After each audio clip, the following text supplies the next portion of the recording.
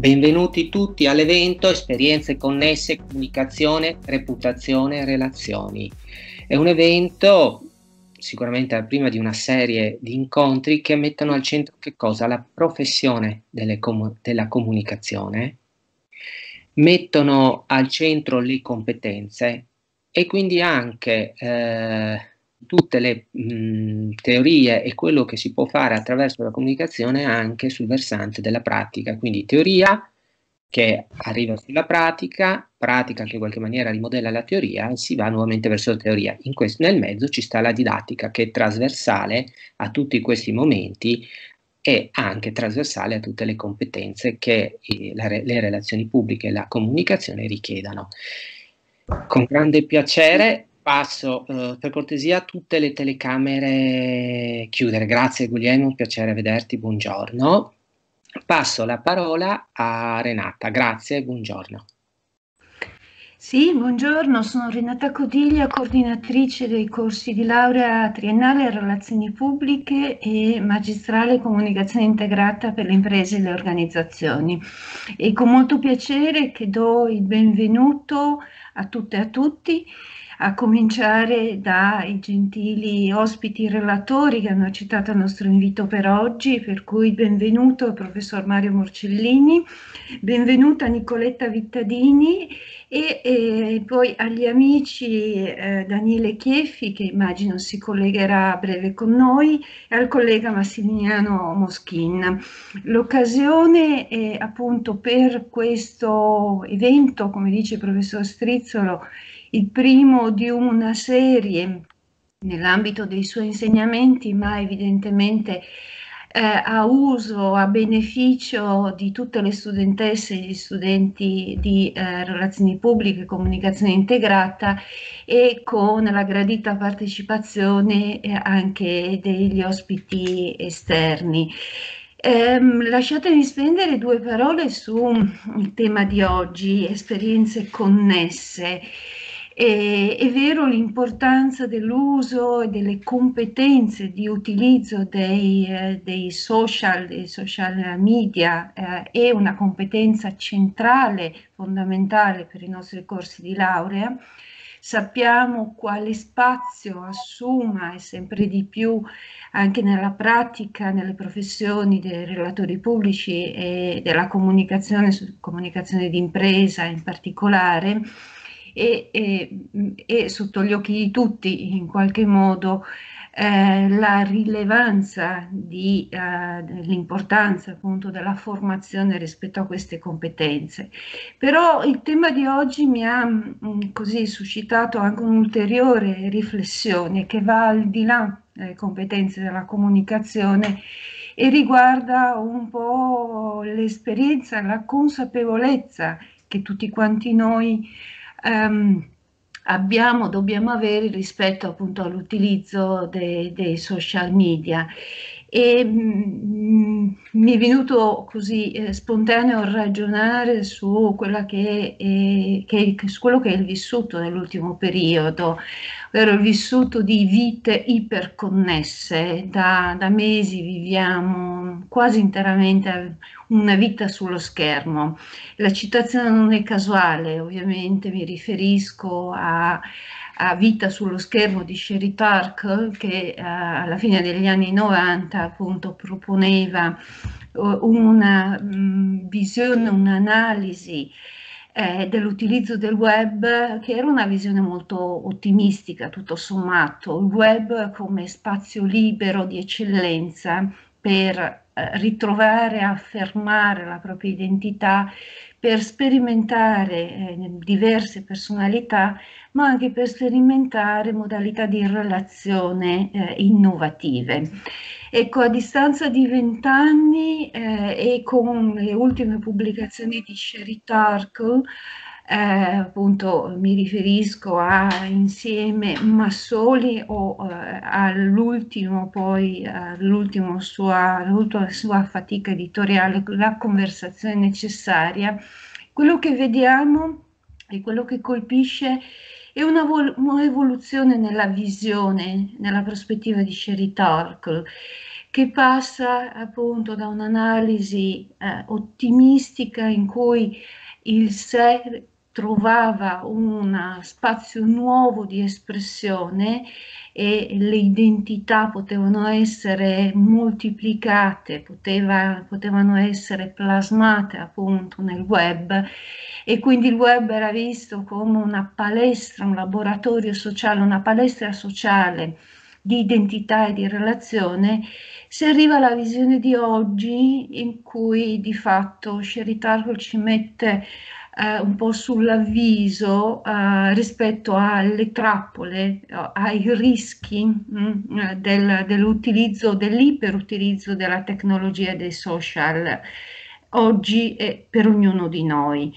E, e dice che l'aumento vertiginoso delle interazioni attraverso i supporti tecnologici oggi mette in crisi le nostre vite emotive, le nostre vite di relazione ovvero ehm, il rapporto con e attraverso il computer sta modificando appunto le nostre capacità di interazione e in particolare eh, ci rende vulnerabili mh, mm, a un misunderstanding fondamentale e quindi confondere quello che è la vita uh, nei social e quindi le azioni che possono essere fatte un, un, attraverso i social media come postare status, condividere foto, inviare like, quindi eh, confondere queste azioni con la comunicazione vera e la relazione vera e propria tra individui e in particolare eh, appunto questa vita attraverso i social media eh, impoverisce le nostre capacità di ascolto, le nostre capacità di relazione, riduce l'abilità empatica di entrare effettivamente in contatto vero e profondo eh, con l'altro.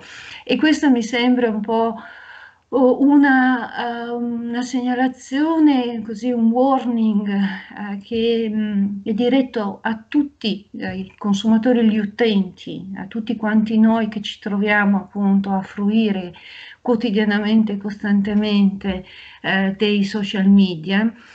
E ehm, a metterci un po' sull'avviso rispetto a quello che è un atteggiamento di ingenuità che possiamo avere, di scarsa consapevolezza nell'utilizzo appunto del web delle insidie del web. E ai pericoli ehm, di cadere in comportamenti che eh, magari non ci sembrano pericolosi perché sembrano leggeri appunto ma che poi in realtà eh, sono delle insidie vere e proprie comportamenti come l'hate speech, il sexting, il cyberbullismo che sono veri e propri reati in rete ma anche eh, comportamenti di dipendenza come il like addiction, eh, come le dipendenze proprio da, da smartphone, dipendenze che ci fanno in qualche modo confondere appunto gli esiti di, di, quello che può essere ricevere eh, like, multi-like con effettivamente una qualità di relazione che poi incide eh, sull'autostima. Multi-like per i giovani significa essere apprezzati, quindi avere un'alta autostima, una buona reputazione.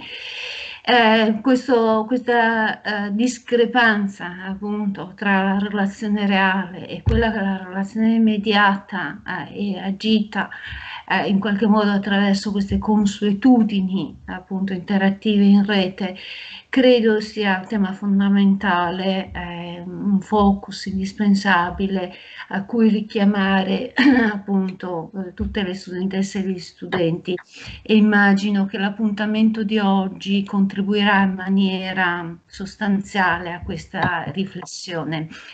Eh, fatemi chiudere rapidamente questa, questa, queste, questi saluti, questa introduzione con un ringraziamento Beh, prima di tutto al professor Strizzolo che ha organizzato, ha avviato questo ciclo di incontri um, preziosi, fondamentali per la formazione e, e, la didattica dei nostri corsi di laurea, ma anche un ringraziamento molto sentito um, per la partecipazione e il sostegno che sempre riceviamo dal comune di Gorizia, dall'assessora Gatta, assessora all'università, che appunto eh, sempre ci accompagna con, con, molto entusiasmo in queste iniziative.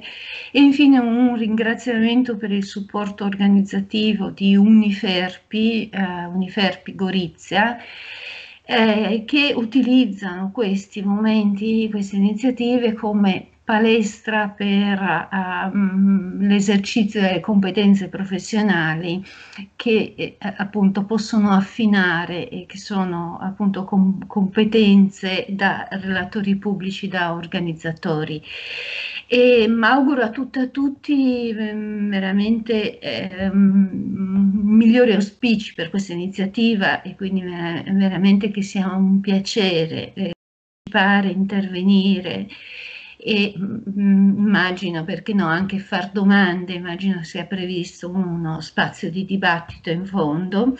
Quindi vi auguro buon lavoro, purtroppo tra un po' dovrò, dovrò lasciarvi con, con, con molto rammarico per mh, mm, impegni concomitanti ma comunque ehm, guarderò poi la registrazione più tardi con, con molto piacere.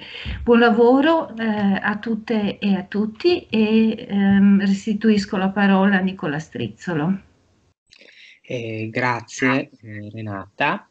Giustamente hai menzionato il comune, e prima di passare quindi la parola all'assessora dell'Università del Comune di Gorizia, aggiungo e porto anche i saluti della delegata del rettore su Gorizia, la professoressa Nicoletta Vasta, che purtroppo è impegnata in commissione di tesi. Ecco, a questo punto lascio veramente con grande piacere eh, la parola ecco, a Chiara. Grazie. Sì, buongiorno a tutti, vi saluto anch'io da parte anche del sindaco, è un piacere rivedervi e anche la professoressa Codiglia che saluto con affetto visto che è anche tanto tempo che non ci vediamo appunto di persone, spero di poterlo fare quanto prima. Non posso che sposare il discorso insomma che, che ha appena fatto eh, perché bisogna rendersi conto che chi comunica oggi ha una grande responsabilità anche su appunto eh, la, la, parte emotiva di, di, chi legge la notizia, di chi appunto oggi eh, anche per, um, per sentirsi appunto connesso e per non sentirsi anche meno solo, controlla in continuazione diversi social, eh, per cui tutto quello che viene pubblicato, soprattutto in rete, ha un, ripeto, un grasso, enorme impatto emotivo su chi, su chi insomma, guarda e chi legge, per cui comunicatori non ci si improvvisa. E per cui insomma il comune con grande piacere ha patrocinato l'evento perché anche noi siamo molto sensibili a, a, questi temi, abbiamo fatto diverse iniziative anche su, sul cyberbullismo, su tutta, insomma, anche oggi tra l'altro eh, c'è una ricorrenza appunto non indifferente, so che anche la professoressa ha anche la carica eh, appunto di delegata eh, con, nelle pari opportunità, insomma oggi c'è anche la giornata eh, contro la, la violenza alle donne, per cui insomma stiamo eh, comunicando ad oggi purtroppo esclusivamente sui social che sì ci permettono di sopperire, soprattutto in questa situazione un po' drammatica, la, la non presenza, però ripeto, eh, non può essere sostitu- cioè, sostituire quella che è la presenza fisica e, e altri tipi di, di, comunicazione che vanno affrontate comunque con serietà ma anche con competenza per cui ringrazio anche il professor Strizzolo e tutti i partecipanti. Anch'io mi scuso, vi potrò seguire per una parte, però immagino che poi anche il, il dibattito di oggi sarà caricato sul sito, per cui me lo, me lo guarderò con piacere in un secondo momento. Grazie Chiara, grazie Assessora, grazie Comune di Gorizia. E abbiamo parlato di giovani, abbiamo parlato di comunicazione, lasciamo un saluto anche ai giovani comunicatori uniferpi. Patrick. Buongiorno, come anticipato, sì, io sono Patrick Lavaroni, studente del terzo anno di Relazioni Pubbliche. Oggi ho il piacere di parlare a nome di Uniferpi. Eh, prima di tutto ringrazio, mi accodo a quanto fatto da chi ha parlato prima di me, ringrazio il professor Strizzolo, il Comune di Gorizia e l'Università in generale per l'organizzazione dell'evento. Ricordo a tutti i presenti che per le domande c'è la piattaforma su Paddle, appunto dato che siamo in molti, eh, Teams sì, anche oggi ha messo a dura prova. E praticamente sì, noi di Uniferpi siamo dei ragazzi curiosi, eh, questa esperienza un po' come ha detto la professoressa prima è una palestra per noi per capire un po' di più questo mestiere. Invitiamo tutti i nostri colleghi studenti a fare tesoro di iniziative come queste per sentir parlare professionisti, esperti per fare pratica. Detto ciò, sì, non voglio rubare altro tempo, auguro a tutti una, un buon incontro, grazie. Grazie Patrick, grazie Uniferpi, eh, ricordo vi ho mandato nella mail il link al Padlet per chi poi volesse fare domande. Ringrazio l'Uniferpi per la gestione poi del Padlet e le domande che mi verranno portate. A questo punto, con grandissimo piacere e amicizia, passo la parola a Mario Morcellini. Proprio l'unica riga perché sarebbe da dire, pagine di esattamente eh, il suo ruolo importante, i suoi studi, attualmente direttore dell'Alta Scuola di Comunicazione e Media Digitale Unitelma Sapienza. Grazie Mario. Grazie a tutti voi, un saluto a tutti, eh, ovviamente in particolare agli studenti, ma mh, mm, cercheremo di rendere questa lezione il massimo mh, mm, il massimo possibile attenta a dirci cose eh, sentite e se possibile nuove, anche in un campo in cui ovviamente fare innovazione linguistica non è facile. Mm, prima di partire ancora una piccolissima annotazione legata a, a quello che intendo dire. Noi sentiamo tante parole, tanti, tanti discorsi pubblici sul, sul mondo digitale, sulla cultura digitale questi discorsi pubblici mm, a loro volta andrebbero studiati come se fosse una specie di appendice del mondo digitale, nel senso che per molti versi i discorsi pubblici, tranne in parte quelli accademici, sono improntati alla bellezza e alla novità eh, e all'aspetto luccicante del mondo digitale. Già la Presidente del corso di laurea, al cui intervento mi rifarò continuamente perché l'ho profondamente condiviso, ha, invece eh, accennato al fatto che dobbiamo vedere dietro il luccichio del digitale. La stessa parabola della Tarker che veniva giustamente chiamata in causa è molto interessante per le autocorrezioni, come del resto molti profeti del mondo digitale sono stati costretti a fare Oggi se riprendesse il libro Vite sullo schermo, forse lo intitolerebbe Vite sullo scherno, perché il numero di discorsi pubblici, di parole ostili, di criticità che si trovano in rete non è mai stato conosciuto alla storia degli uomini. Allora, mettiamo in ordine il discorso, fermo restando che mh, mi complimento davvero con tutti gli interventi, ma in particolare con il lavoro straordinario di organizzazione culturale che Nicola Strizzolo sta facendo, non da ora mi sembra il modello di professore che la terza missione impone. E, e, la, riprendo allora dal tema. Io ho, ho, devo parlare del ruolo della comunicazione, quindi dell'impatto della questione dei cosiddetti possibili effetti. E dico subito che questo ruolo è un ruolo complicato perché mentre per le culture precedenti e le culture mainstream, le culture della, telev della televisione, della radio, dell'editoria, che erano quelli che hanno fatto la prima modernità italiana, la, la loro nascita, la loro affermazione è stata accompagnata da campagne anche un po' troppo pessimistiche di approssimazione e di domiciliazione, cioè quando sono comparsi i grandi media storici, eh, gli intellettuali hanno gridato alla preoccupazione con toni a volte persino eccessivi e rasentando anche l'ignoranza.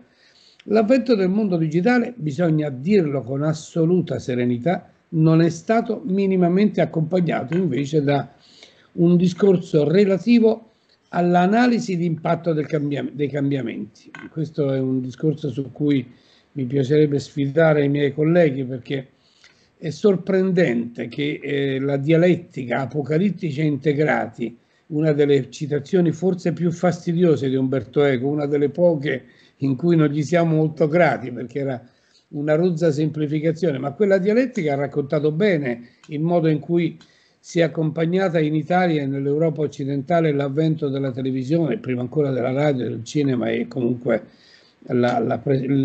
l'importanza dell'editoria e del giornalismo. Una discussione di questo genere, apocalittici integrati, non si è invece riprodotta nei confronti del mondo digitale. Le prese di distanza, i discorsi critici non mancano, ma sono quantitativamente se non marginali, almeno secondarie rispetto alla presunzione di bellezza che quasi tutti quelli che fanno interventi pubblici sul digitale impongono al dibattito. C'è troppa concezione di trasformare, per esempio, gli studiosi in uffici stampa della modernità digitale. Noi non possiamo essere quelli dell'ufficio stampa, già il digitale è forte e, e, potente per potersi permettere che anche noi ci accodiamo alle sue lodi. Allora, vediamo di impostare una riflessione che eh, tenga conto di questi aspetti del dibattito pubblico, cioè che deve esserci un nodo di discussione critica,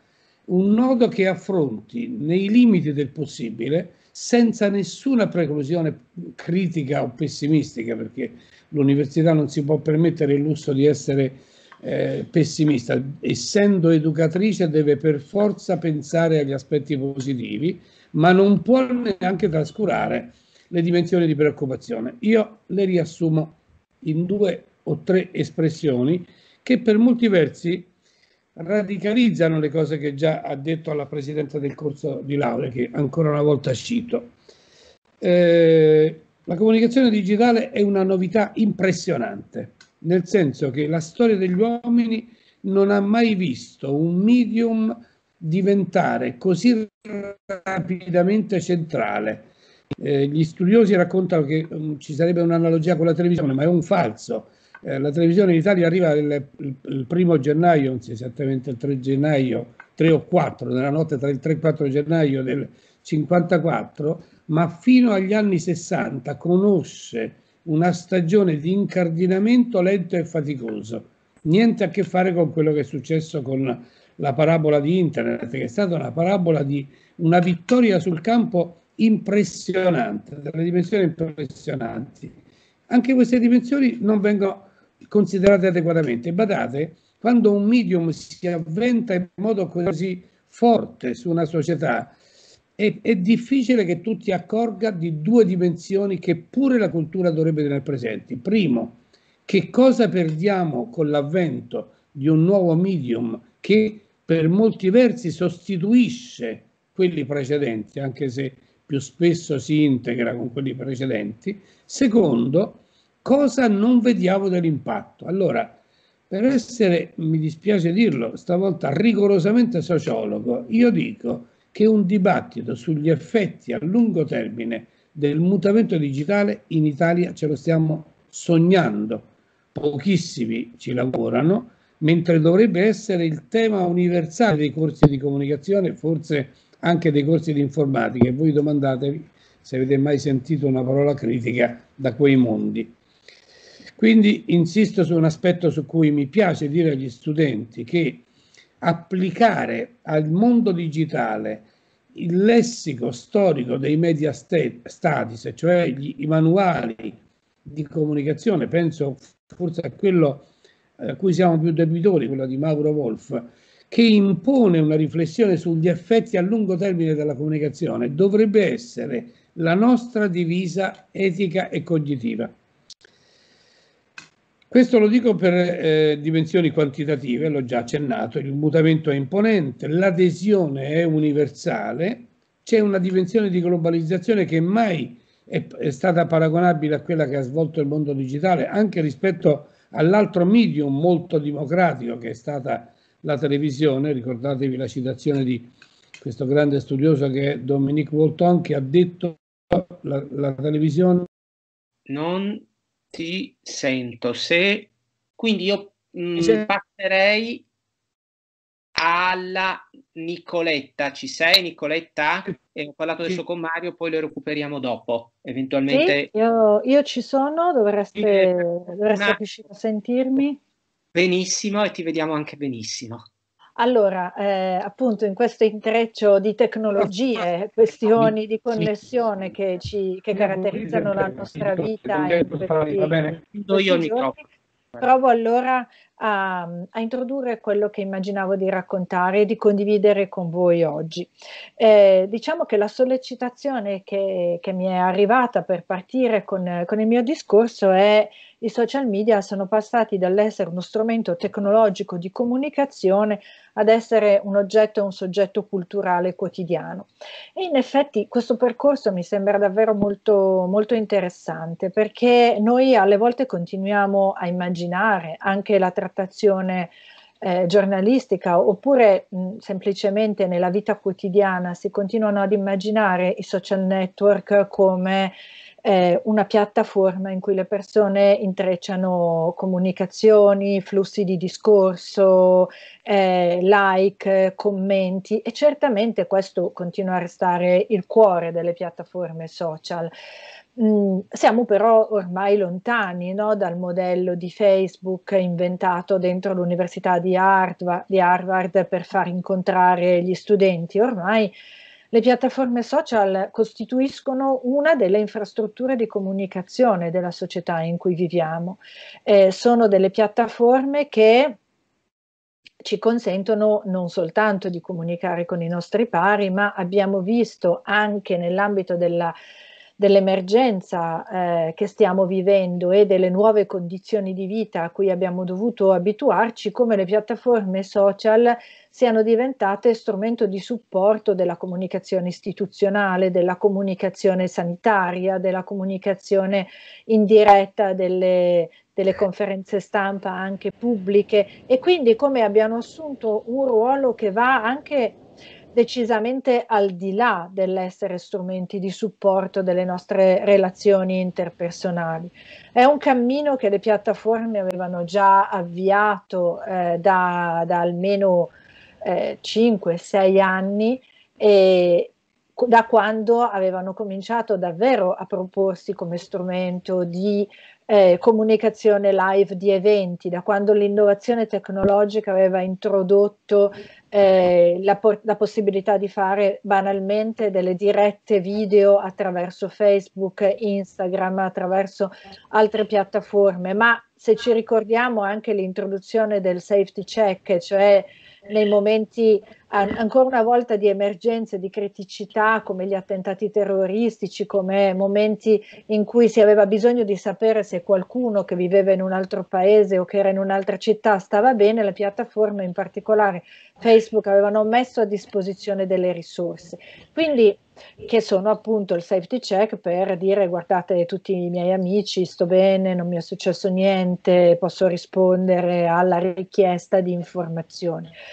E, ehm, la, la, la, il proporsi come strumenti di racconto dell'attualità, il proporsi come infrastrutture che supportano un'attività di eh, informazione che ha una finalità eh, di utilità pubblica come il safety check, come gli aggiornamenti sui terremoti, avevano già cominciato a cambiare un po' la natura di queste piattaforme, no? ad aggiungere a quella che è la comunicazione, la relazione interpersonale, altre modalità di mediazione delle nostre attività quotidiane, per esempio l'accesso alle informazioni, per esempio l'accesso a risorse di utilità pubblica e quindi eh, diciamo che eh, oggi si configurano come effettivamente delle infrastrutture su cui noi possiamo poggiare per svolgere molte delle nostre attuali attività.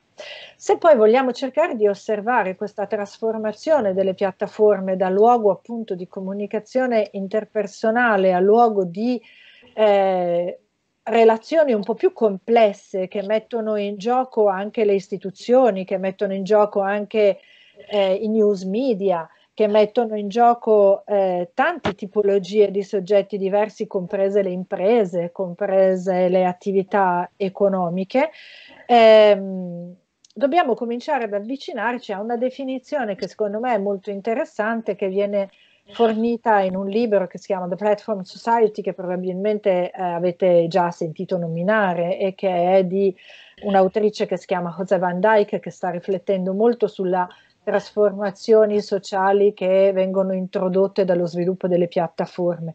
E lei dice una piattaforma è un'architettura digitale programmabile, quindi è un impianto software, una infrastruttura che è progettata per organizzare delle interazioni tra utenti. Quindi è chiaro che la dimensione relazionale, la dimensione di costruzione di relazioni non viene meno, no? anche in questo nuovo modo di guardare le piattaforme.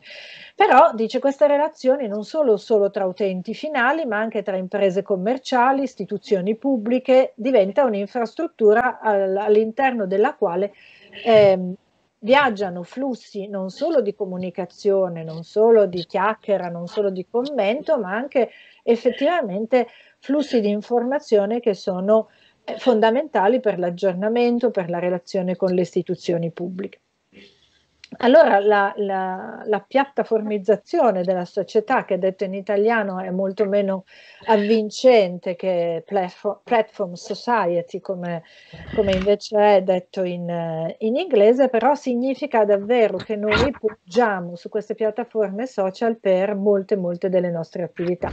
E questo cambia sia le nostre attività sia le piattaforme. Per esempio, una, un passaggio, un evento che mi sembra particolarmente interessante da, da sottolineare è che eh, proprio in occasione del, della situazione di emergenza legata al Covid-19 che stiamo, che stiamo tutti vivendo e condividendo, eh, le piattaforme hanno dovuto un po' cambiare il modo di porsi in relazione all'informazione. Allora, se qualcuno di voi un paio di anni fa ha seguito Cambridge Analytica, lo scandalo legato alla raccolta dati sugli utenti, alla, alla propaganda eh, legata alla campagna elettorale statunitense che aveva portato Zuckerberg, fondatore di Facebook, a dover rispondere davanti al congresso e davanti anche a delle commissioni specifiche del ruolo di Facebook in questa raccolta illecita di dati, forse vi ricorderete, ma mh, magari non è una cosa su cui avete posto l'attenzione, ce lo ridiciamo qua, che eh, l'atteggiamento di Zuckerberg era stato quasi sempre quello di dire, beh, ma Facebook è una tech company, noi produciamo software, infrastrutture, non siamo responsabili dei contenuti che gli utenti o qualsiasi altro soggetto mettono sulla nostra piattaforma, non, potiamo, non possiamo farci responsabili di questi contenuti. E questo è un po' stato sempre l'atteggiamento delle piattaforme social, a parte alcune indicazioni veramente di eh, basi per cui non è possibile pubblicare dei contenuti a forte, con, a forte contenuto razzista o altri veramente elementi eh, che sono stati ritenuti dalle piattaforme base della, di una convivenza eh, civile tra le persone che comunicano al loro interno, non c'era stata mai una presa di posizione in termini di responsabilità dei contenuti che, che circolavano all'interno della piattaforma, ma anche Facebook, Instagram, TikTok, Pinterest, Twitter e tutti questi soggetti che agiscono all'interno del nostro contesto sociale devono poi tenere conto di qual è l'evoluzione della comunicazione che passa al loro interno. E quindi in occasione di questa epidemia di Covid-19 e della eh, necessità di un'informazione eh, anche sanitaria, soprattutto nella prima ondata di febbraio, marzo, aprile, eh, seria e affidabile, beh, è successa una cosa molto, molto interessante, che eh, le piattaforme hanno ehm, dovuto, eh, so, sotto, sulla base di una pressione eh, comunicativa, sociale, prendere atto che non potevano più eh, rinunciare ad assumersi una responsabilità nei confronti dei contenuti. E la prima è stata Twitter, seguita poi da Pinterest, l'ultima è stata Facebook, ma piano piano queste piattaforme hanno attivato dei, dei Covid Center, e cioè hanno attivato del, dei profili o comunque una parte del loro contenuto in cui raccoglievano informazioni che provenivano da fonti affidabili, l'Organizzazione Mondiale della Sanità, alcune testate erano ritenute affidabili e ogni volta che qualcuno cercava la parola Covid all'interno del motore di ricerca di Twitter prima, eh, di, di, Facebook soltanto in un secondo momento o di Pinterest, compagni, compariva un link che rimandava alla, eh, a quella raccolta di fonti affidabili che la piattaforma aveva costruito. Quindi certo nessuna di queste piattaforme ha fatto informazione per conto suo, diciamo, ma ehm, questo passaggio è molto, è molto importante rispetto alla, a che cosa stanno diventando no, queste piattaforme oggi, perché vuol dire che in qualche modo si sono entrate in gioco nell'ambito della circolazione dei contenuti e delle informazioni, nell'ambito di tutto il mondo dei, dei news media, ma anche delle relazioni con le istituzioni come l'Organizzazione Mondiale della Sanità, come il Ministero della Sanità e eh, e hanno assunto il ruolo di mediatori, no? di coloro che hanno raccolto le fonti affidabili, quindi importante perché mediatori dell'affidabilità è un ruolo molto importante all'interno di un contesto sociale che queste piattaforme, che sono pur sempre delle companies private, si sono assunte. E, ehm, e hanno quindi eh, proposto questi, questi, questa raccolta di, di, informazioni che potessero essere un punto di riferimento affidabile in un momento in cui fake news circolavano molto, ma anche in un momento in cui c'era un bisogno informativo molto forte. Quindi eh, questo breve racconto che, eh, che, ho voluto costruirvi per provare a rispondere alla domanda di partenza che è come, come stanno evolvendo le piattaforme da strumento tecnologico a oggetto e soggetto culturale, può trovare una iniziale eh, risposta nella nell'indicazione che queste piattaforme certamente continuano a essere luoghi di comunicazione interpersonale, luoghi di relazione dove è necessario coltivare anche una relazione in positivo e penso ai riferimenti che sono già stati fatti sul, sulle hate speech, ma soprattutto stanno diventando delle infrastrutture importanti all'interno del nostro contesto sociale e stanno assumendosi nella pratica, non, nella loro, non attraverso un percorso istituzionale, stanno assumendosi anche dei ruoli che hanno un certo rilievo soprattutto perché non smettono di essere piattaforme di comunicazione social, non smettono di essere companies private che si assumono un ruolo importante all'interno della, della comunicazione pubblica istituzionale, della generazione e circolazione di informazioni, ma anche perché sono sempre piattaforme che, come sappiamo, sono caratterizzate da degli specifici modelli di business e quindi hanno diciamo, una, eh, una loro eh, finalità, no? che è quella di, una, di, un'azienda, che è quella comunque di produrre reddito, sono comunque piattaforme che raccolgono dati eh, sui loro utenti con, una, eh, con, la finalità di dare un valore anche economico poi que- a questi dati e sono comunque piattaforme che sono programmate sulla base di una serie di algoritmi che alla fine fanno da gatekeeper anche rispetto alle informazioni che noi possiamo vedere all'interno dei nostri profili e quindi eh, non solo mh, ci propongono un set di eh, fonti affidabili eh, a cui rivolgersi, a rivolgerci se cerchiamo informazioni su temi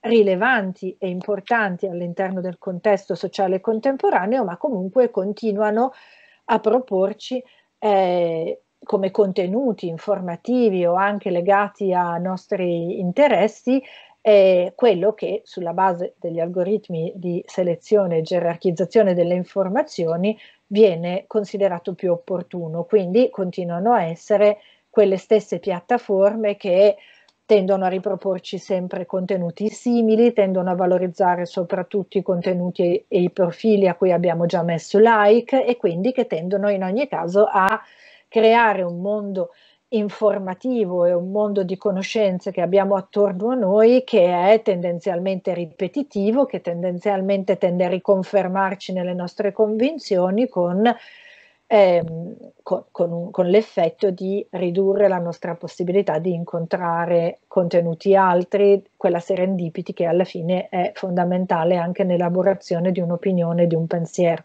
Quindi è importante che noi osserviamo l'evoluzione delle piattaforme social verso soggetti che hanno un ruolo importante all'interno della nostra società, proprio perché si assumono ruoli e funzioni pubbliche anche importanti, perché certamente il contrasto alle fake news sul Covid-19 è importante, ma continuano a essere quelle, quelle piattaforme appunto che si basano su, sulla logica algoritmica, che, sulla raccolta dei dati, sulla eh, monetizzazione eh, e capitalizzazione dei dati che raccolgono sui loro utenti. Quindi diciamo siamo davanti a un momento evolutivo molto, molto importante eh, in cui si muovono non solo persone, cittadini comuni, ma anche attori istituzionali, in cui queste piattaforme sono un luogo di nuova intermediazione dei flussi informativi, commerciali, eh, e anche appunto istituzionali e, eh, e, quindi credo che sia un momento da osservare con grandissima attenzione proprio per tutte quelle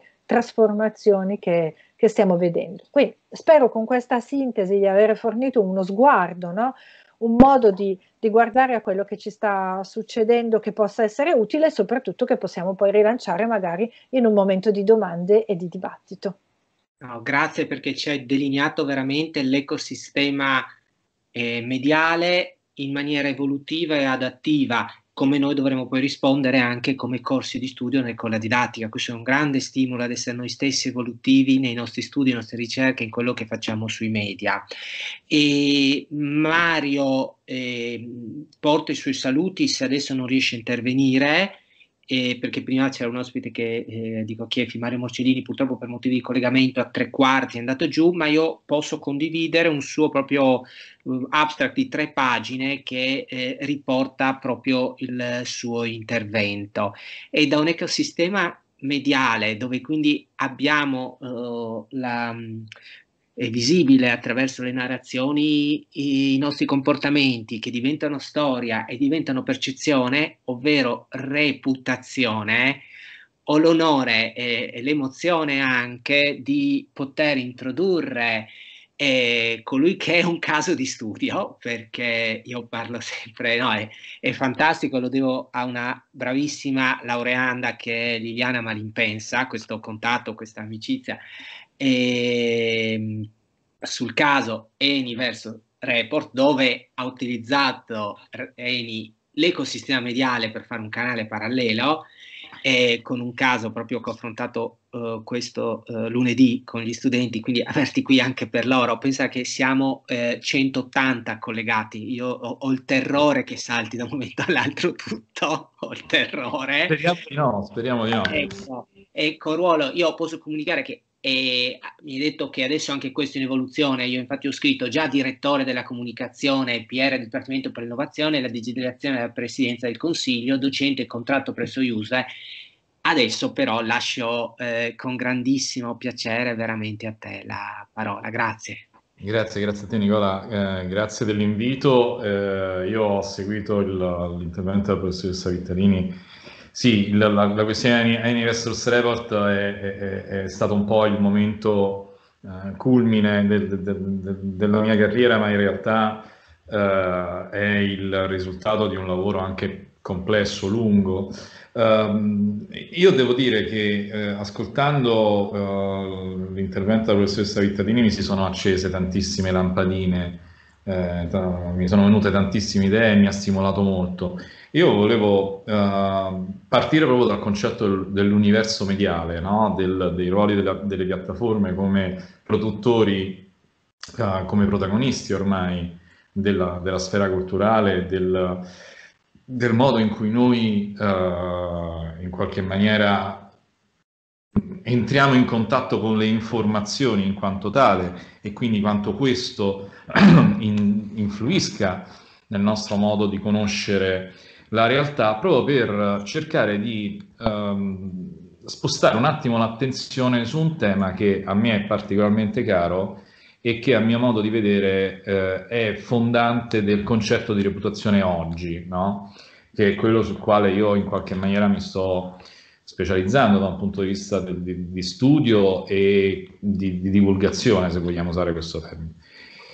Tutta la, la, la, la dotta dissertazione della professoressa Vittarini eh, ha, ci ha costruito uno scenario eh, assolutamente reale rispetto a quello che ci troviamo di fronte eh, tutti i giorni e al ruolo delle piattaforme, del modo in cui le piattaforme non sono solamente delle appunto piattaforme tecnologiche che abilitano delle funzioni, in questo caso abilitano la diffusione di informazioni, eh, bensì sono diventate a tutti gli effetti dei, dei soggetti che, ehm, che non solo si limitano a distribuire in senso lato il contenuto, ma alla fine lo, Uh, lo inseriscono in un contesto cognitivo. Ecco, io da qui vorrei partire. Cioè vorrei partire da una osservazione che spero che la professoressa uh, accolga dal punto di vista del, del ragionamento speculativo, uh, diciamo che, che, che, prende, prende il passo da, da, dove lei si è fermata per andare un, un, un pizzico avanti. Ho usato il termine cognitivo non a caso, perché in realtà quello su cui eh, vorrei cercare di attirare la vostra attenzione è proprio il modo in cui le piattaforme, eh, le piattaforme digitali, ma non solo le piattaforme digitali, diciamo tutto il contesto che si è venuto a creare eh, dopo eh, l'avvento degli smartphone e l'esplosione dei social network intesi come fenomeno globale, quindi stiamo parlando dell'anno 2007-2008, gli anni 2007-2008, 2007 a luglio quando fu presentato il primo smartphone, tra il 2007 e il 2008 l'esplosione di Facebook come fenomeno globale, questi due, questi due eventi hanno sì modificato profondamente lo scenario da un punto di vista tecnico e da un punto di vista della dell'universo mediale inteso come strutture in grado di veicolare informazioni. Ma a mio modo di vedere hanno modificato profondamente il nostro modo di conoscere la realtà. Uh, perché dico questo? Perché in realtà prima del, dell'avvento del primo smartphone, quindi del, del primo iPhone e di tutti quelli che ne seguirono, Uh, il web digitale era rinchiuso dentro un preciso perimetro spazio-temporale, che era quello della, del nostro computer, uh, attraverso il quale noi accedevamo effettivamente a un mondo virtuale che non aveva limiti né di tempo né di spazio. Ma il problema è che questa illimitatezza del tempo e dello spazio era limitata a sua volta dal device che noi dovevamo utilizzare, che per sua natura era difficilmente trasportabile e comunque chiedeva una dedizione, un'attenzione, una partecipazione completa e complessiva e faceva sì che la nostra realtà fisica, cioè quella che noi vivevamo tutti i giorni, compresa, comprese le esperienze di tipo psicologico e sociale e cognitivo che noi avevamo e sviluppavamo tutti i giorni pluriquotidianamente, fossero qualcosa di profondamente diviso dalle realtà o meglio dalle esperienze che noi facevamo all'interno di questo mondo virtuale che per sua natura era chiuso in una sorta di bottiglia di vetro eh, dove noi potevamo viaggiare, si diceva navigare ai tempi, eh, per poi scollegarci, tornare a terra, chiudere, spegnere il computer e continuare la nostra vita normale.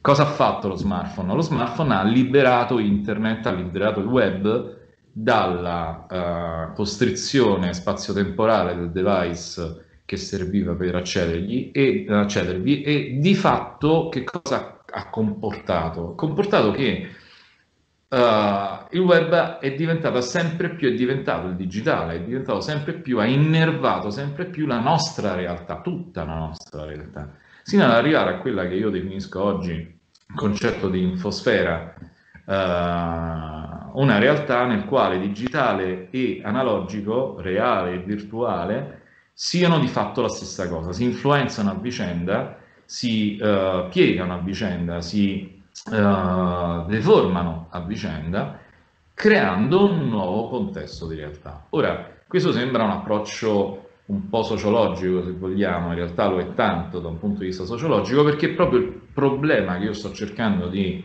analizzare è proprio un problema di tipo sociologico, ma anche di tipo sociologico e cognitivo. In che senso? Che tutto quello che la professoressa Vittadini, ma in generale noi facciamo, ha descritto e noi facciamo come esperienza quotidiana, è il risultato di un nuovo modo in cui veniamo a conoscenza della realtà, cioè conosciamo la realtà. E la realtà è profondamente influenzata da quello che noi vediamo anche e soprattutto dal digitale, attraverso il digitale, attraverso la, uh, la rappresentazione del mondo che il digitale ci restituisce. Questa rappresentazione del mondo è una rappresentazione del mondo necessariamente e purtroppo spesso e volentieri uh, diversa da quella che è la realtà fattuale. Cerco di spiegarmi. Ciò che no, l'idea la percezione, adesso Nicola prima introducendomi ha usato il termine percezione, la percezione che noi traiamo da tutto ciò che ci circonda è mediata dal suo passaggio sul digitale e questa mediazione del digitale fa sì che um, noi ci creiamo una immagine della realtà che spesso e volentieri è differente e diversa da quella che è la realtà fattuale. È un po' il mito della caverna di Platone, per capirci. Uh, ci convinciamo che la realtà siano le ombre proiettate sul fondo della caverna, quando in realtà, perdonate il gioco di parole, la vera realtà è, è ciò che scorre alle nostre spalle davanti ai fuochi che proiettano le ombre.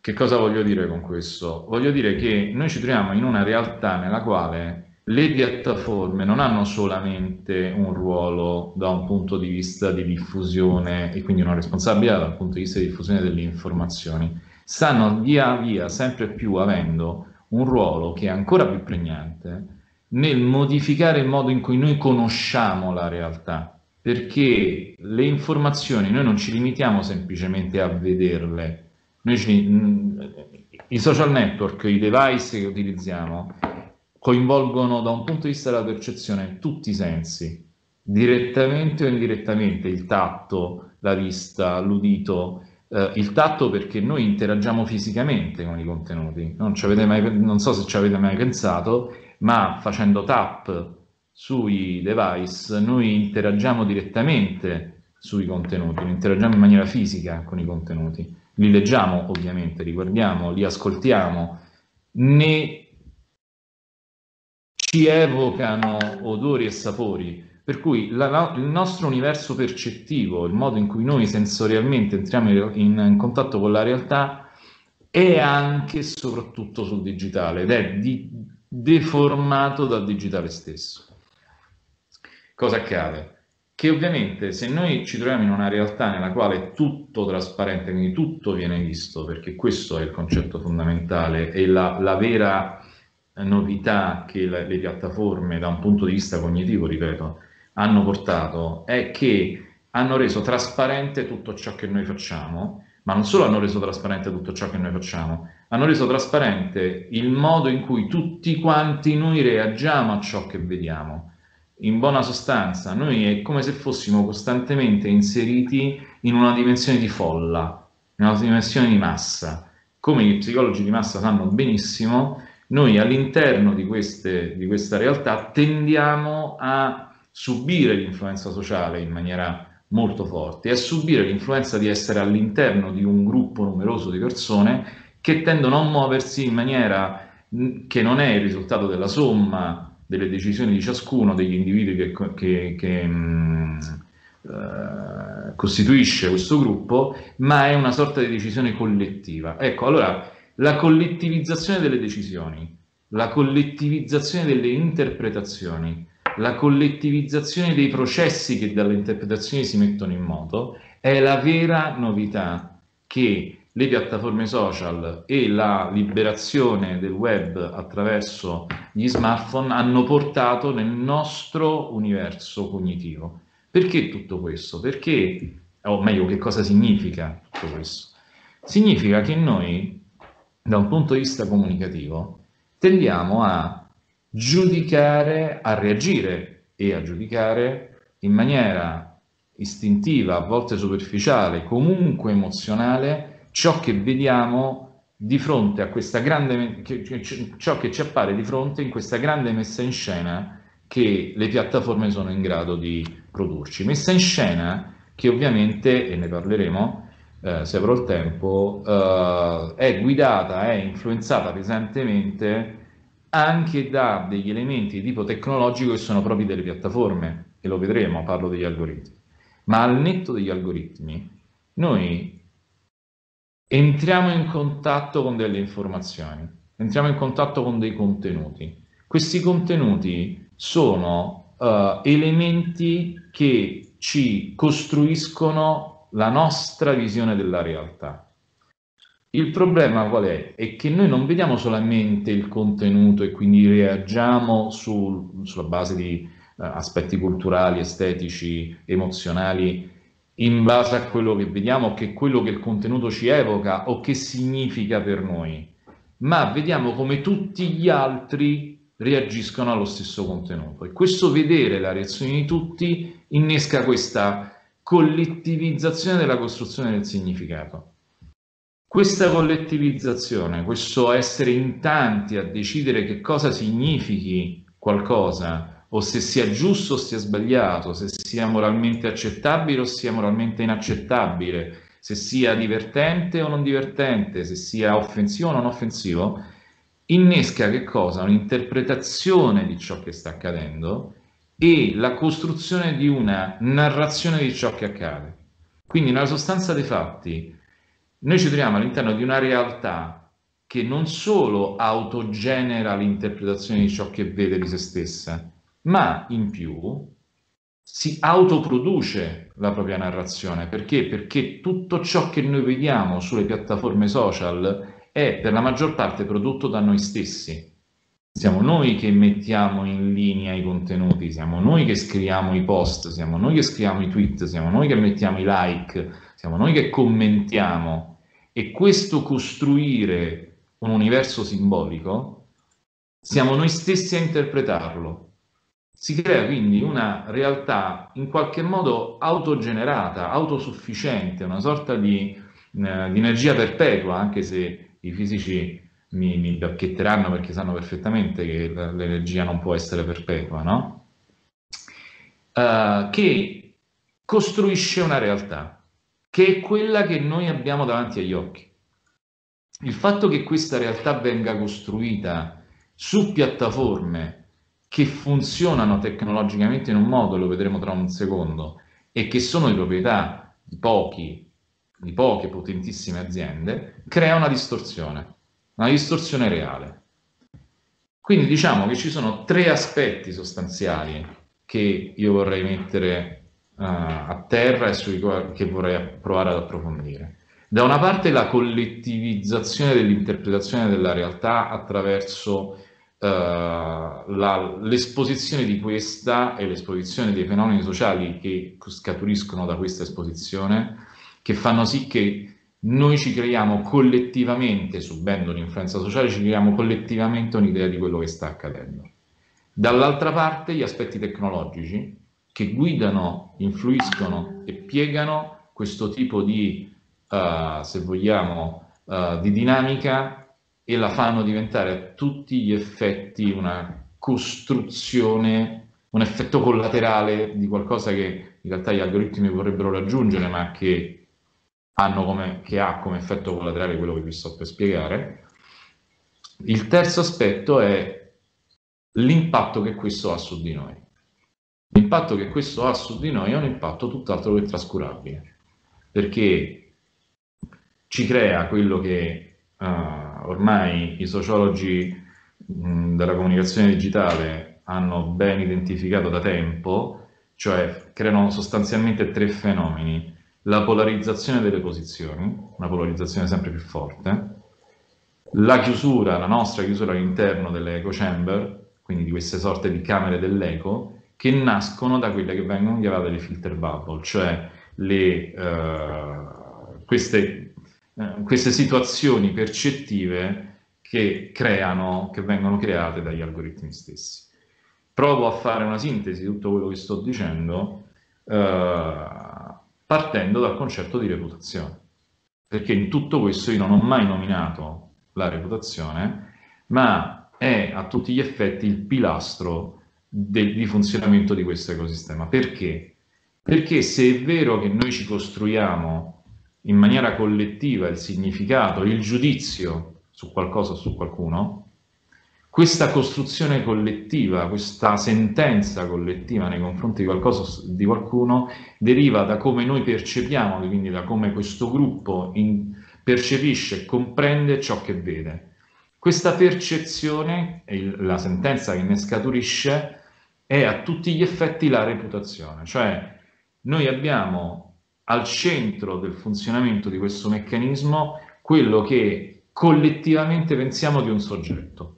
La grande novità è che non si parla più solo di reputazione del soggetto inteso come persona umana, che è una cosa normale che sperimentiamo tutti i giorni noi nella nostra esperienza pluriquotidiana, ma all'interno di questo sistema ci sono tutti i soggetti, aziende, enti, organizzazioni, istituzioni, professionisti, eh, personaggi politici, tutto ciò che in qualche maniera si possa definire soggetto è soggetto alla sentenza valoriale del contesto della comunità nella quale agisce, proprio perché questa comunità può agire in base al fatto che le piattaforme tecnologiche, diffondendo, come diceva giustamente la professoressa Vittalini, in maniera massiva informazioni, in realtà abilitano anche la conversazione su queste informazioni, abilitano anche il giudizio su queste informazioni e quindi trasferiscono di dentro le dinamiche di tipo psicologico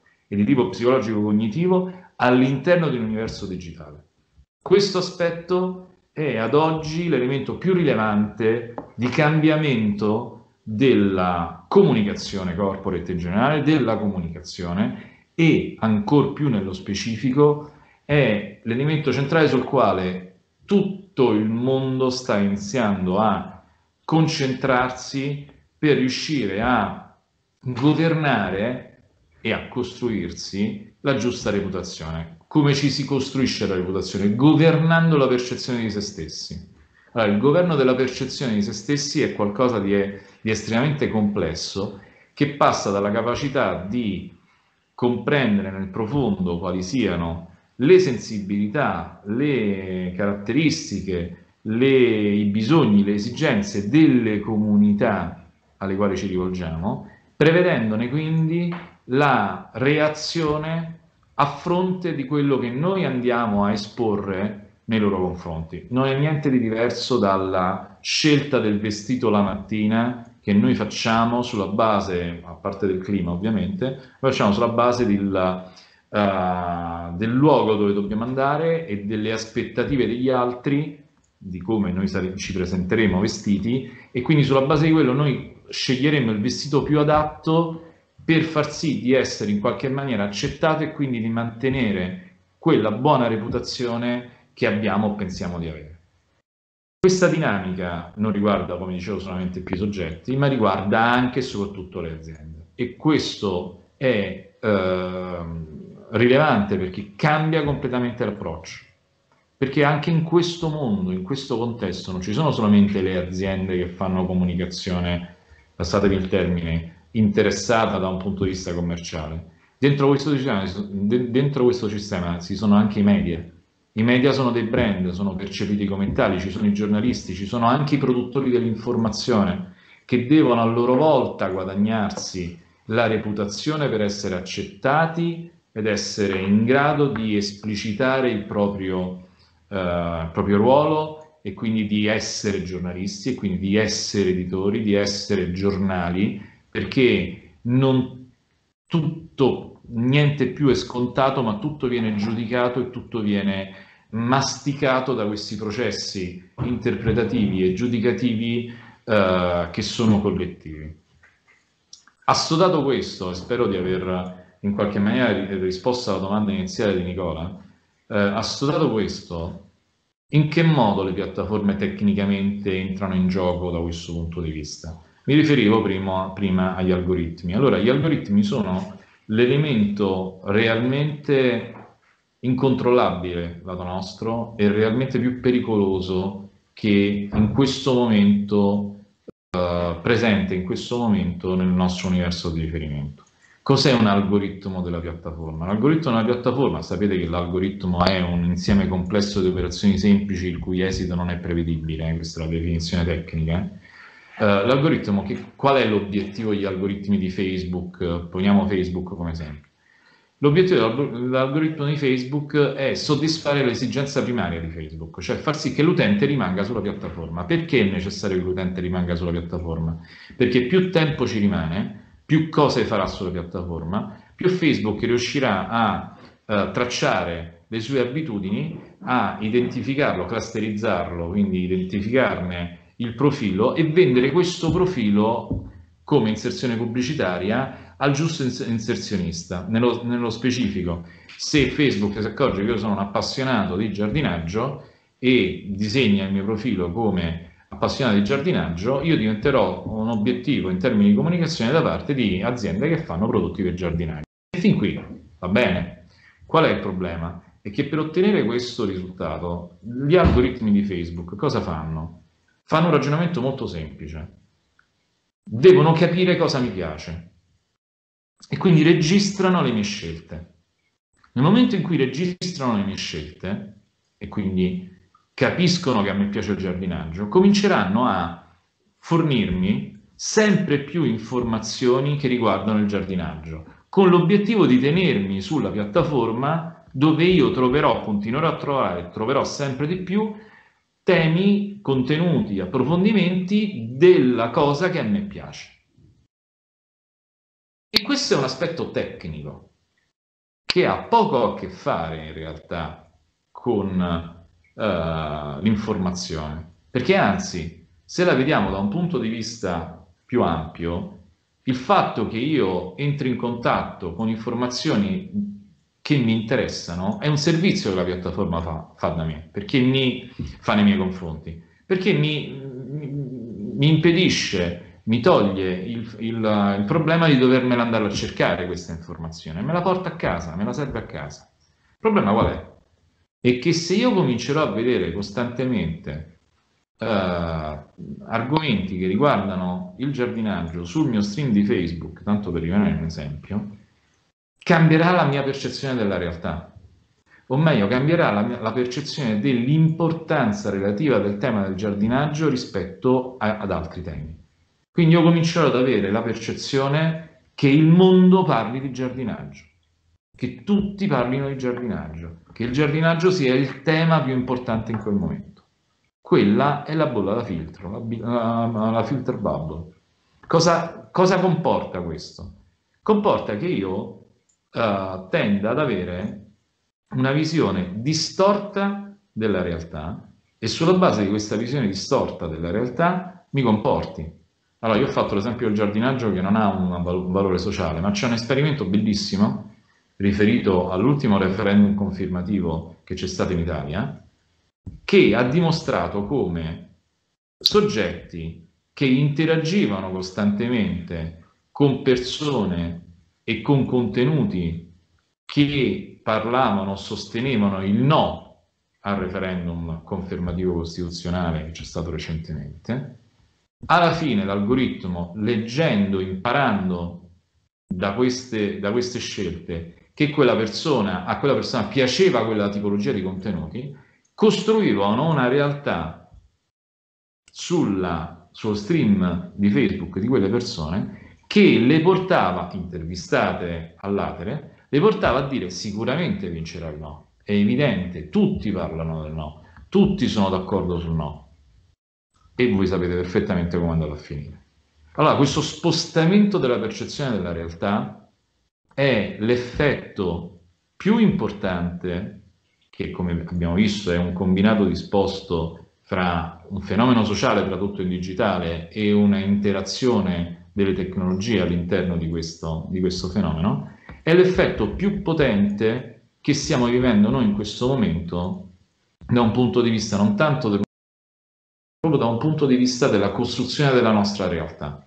Perché? Perché se questo lo ribaltiamo, o meglio, eh, assumiamo che queste dinamiche, che io vi sto riassumendo molto velocemente, ovviamente mh, chiederebbero ben altro approfondimento, ma spero di riuscire a disegnare un quadro abbastanza chiaro. Queste dinamiche, ehm, se utilizzate in maniera non etica, creano quelle dinamiche di uh, deviazione del consenso e di manipolazione della percezione della realtà che sono alla base del fenomeno delle fake news. O peggio, creano quei, quei processi, innescano quei processi interpretativi che sono lesivi della reputazione di un soggetto piuttosto che di un altro. Stando alle fake news, se tutti quanti, se noi viviamo in bolle da filtro che ci fanno credere che uh, l'immigrazione sia un male perché tutti gli immigrati sono violenti. Questo è un esperimento dell'Università di Urbino, facoltà di sociologia. Uh, e noi tendiamo a pensare che in realtà, essen- avendo di noi una visione della realtà distorta per i motivi che vi ho detto prima, inevitabilmente saremo preda facile di chi, conoscendo queste dinamiche, ci metterà davanti agli occhi dei contenuti che seguono queste paure, che le alimentano e che in qualche maniera propongono delle soluzioni di tipo drastico, adesso forzando il, l'esempio, eh, finendo per costruire, dove c'è per esempio un consenso politico per una parte politica piuttosto che un'altra, sulla base di tutta una serie di aspetti che sono legati alla percezione. Vedo riapparire Nicola che immagino mi stia battendo il tempo in, que- in questo senso, più o meno. Allora, cerco di andare a, in conclusione velocemente. Il, ciò che conta effettivamente, quindi, è renderci conto che tutto questo sistema non solo è una novità assoluta dal punto di vista dell'impianto mediale e del sistema mediatico, ma sta profondamente modificando il nostro modo di conoscere la realtà. Diventarne consapevoli, quindi capire che siamo tutti dentro dell'echo chamber e che tendiamo a vedere solamente le cose che cerchiamo e che gli algoritmi ci ribadiscono in maniera quasi ossessiva. Sapere questo e tentare di rompere questa dinamica per andare a guardare fuori che cosa succede e quantomeno riequilibrare i pesi relativi rispetto a ciò che sta accadendo è secondo me uno delle, delle, degli aspetti più importanti da un punto di vista della formazione culturale generale che va portata avanti e uno degli aspetti più importanti che andrebbe um, veicolata nel sistema scolastico e nel sistema educativo nazionale. Perché io ho la fortuna di insegnare all'università e ho avuto modo anche di avere contatti con studenti di grado inferiore, quindi più giovani, eh, il problema dei nativi delle famose generazioni X, Y, Z, adesso non ricordo neanche più quali siano, però diciamo dei nativi digitali, dei ragazzi che sono nati quando il digitale era già ciò che stiamo conoscendo in questo momento e che sono come i pesci di McLuhan, cioè sono completamente inconsapevoli dell'acqua in cui nuotano. Questa inconsapevolezza è un problema enorme perché se da una parte li espone a tutta una serie di rischi manipolativi come quelli delle fake news che ho provato ad abbozzare prima, dall'altra impedisce loro di sfruttare delle potenzialità enormi che invece ci sono, anche da un punto di vista dell'arricchimento culturale in quanto tale. Quindi mi taccio veramente e concludo il mio piccolo intervento attirando la vostra attenzione su un nuovo sistema mediatico, sul fatto che al centro di questo sistema mediatico ci sia la reputazione e che la reputazione sia il risultato di un processo sociale collettivo che si basa sulla percezione e sulla costruzione collettiva del significato. Grazie. Grazie a te. Eh, io eh, intitolerei il tuo intervento citando il titolo di un film Oltre il giardino. Visto che hai citato il giardinaggio, c'è una persona che vive in una bolla che fa il giardinaggio, che, che e, si chiama anche Gardner, e esce, eh, Peter Sellers, esce dal suo mondo, si trova in un'altra bolla con altri algoritmi e non avendo scheletri nell'armadio, dando delle risposte assurde, ma perché credono, siccome si veste bene, dotato di un grande senso e profondità, si trova alla fine tra i candidati alla Casa Bianca. È eh, vero, è vero è proprio è un, secondo me è basilare sulla comunicazione e, e, ed effettivamente eh, è quello, cioè, eh, possiamo ritrovare questo esempio. Infatti lui vive in una casa di schermi, tra l'altro dove accende e spegne continuamente la televisione e si isola nel suo mondo.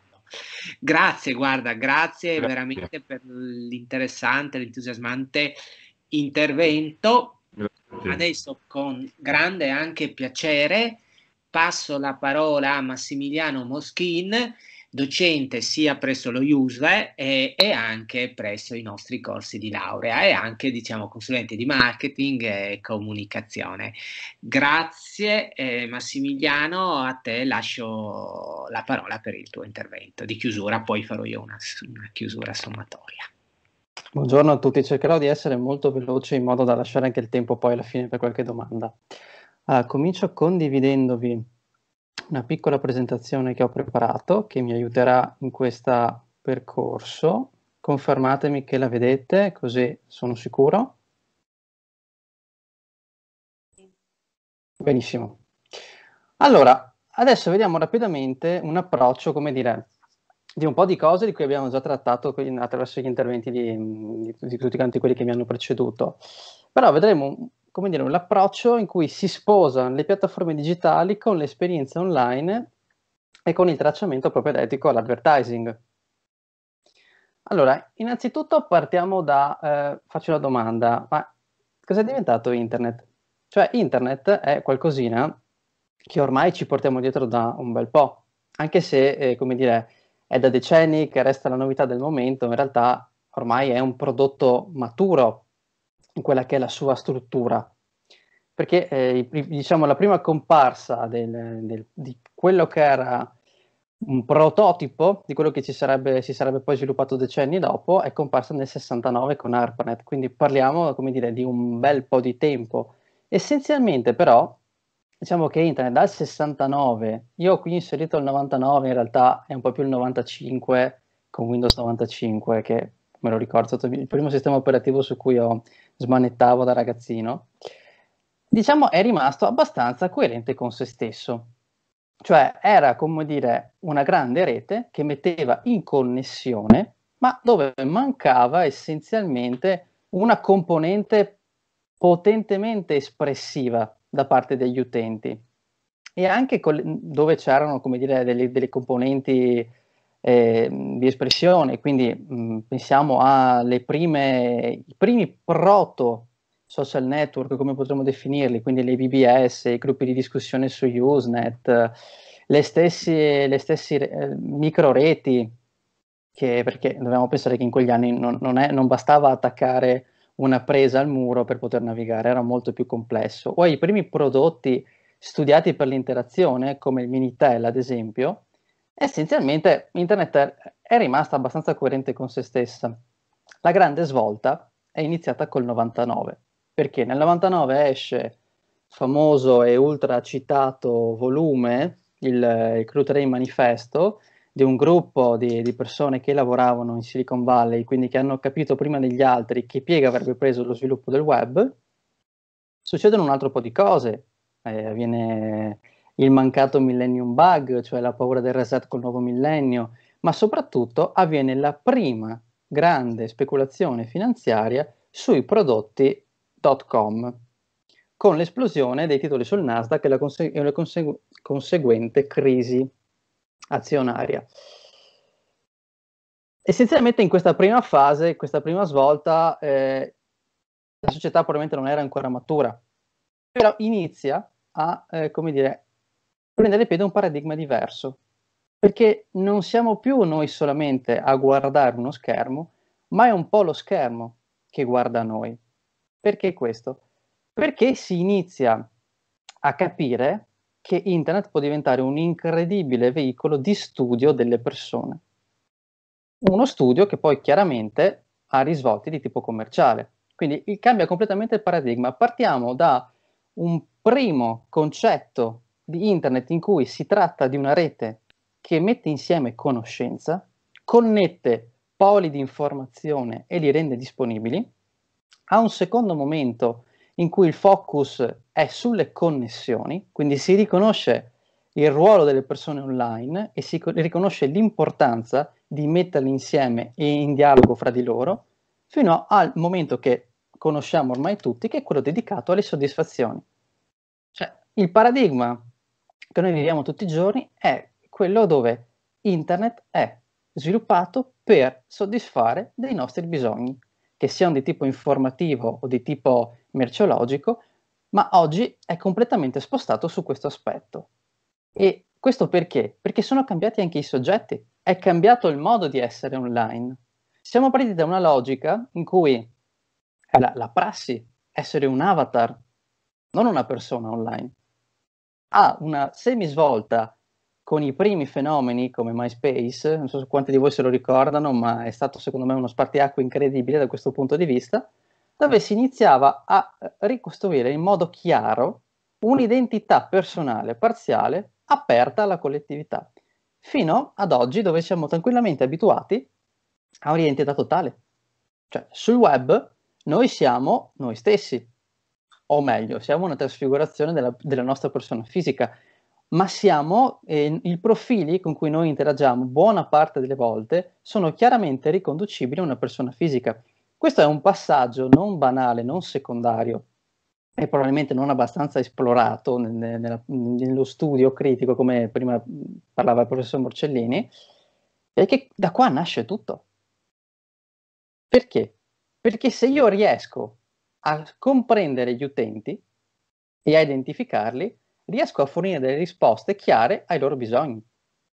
Ed è per questo che si iniziano a studiare gli utenti. E come si fa? Si fa attraverso strumenti che sono di tipo tecnologico, cioè banalmente attraverso i pluripremiati e pluricelebrati cookie di tracciamento della navigazione.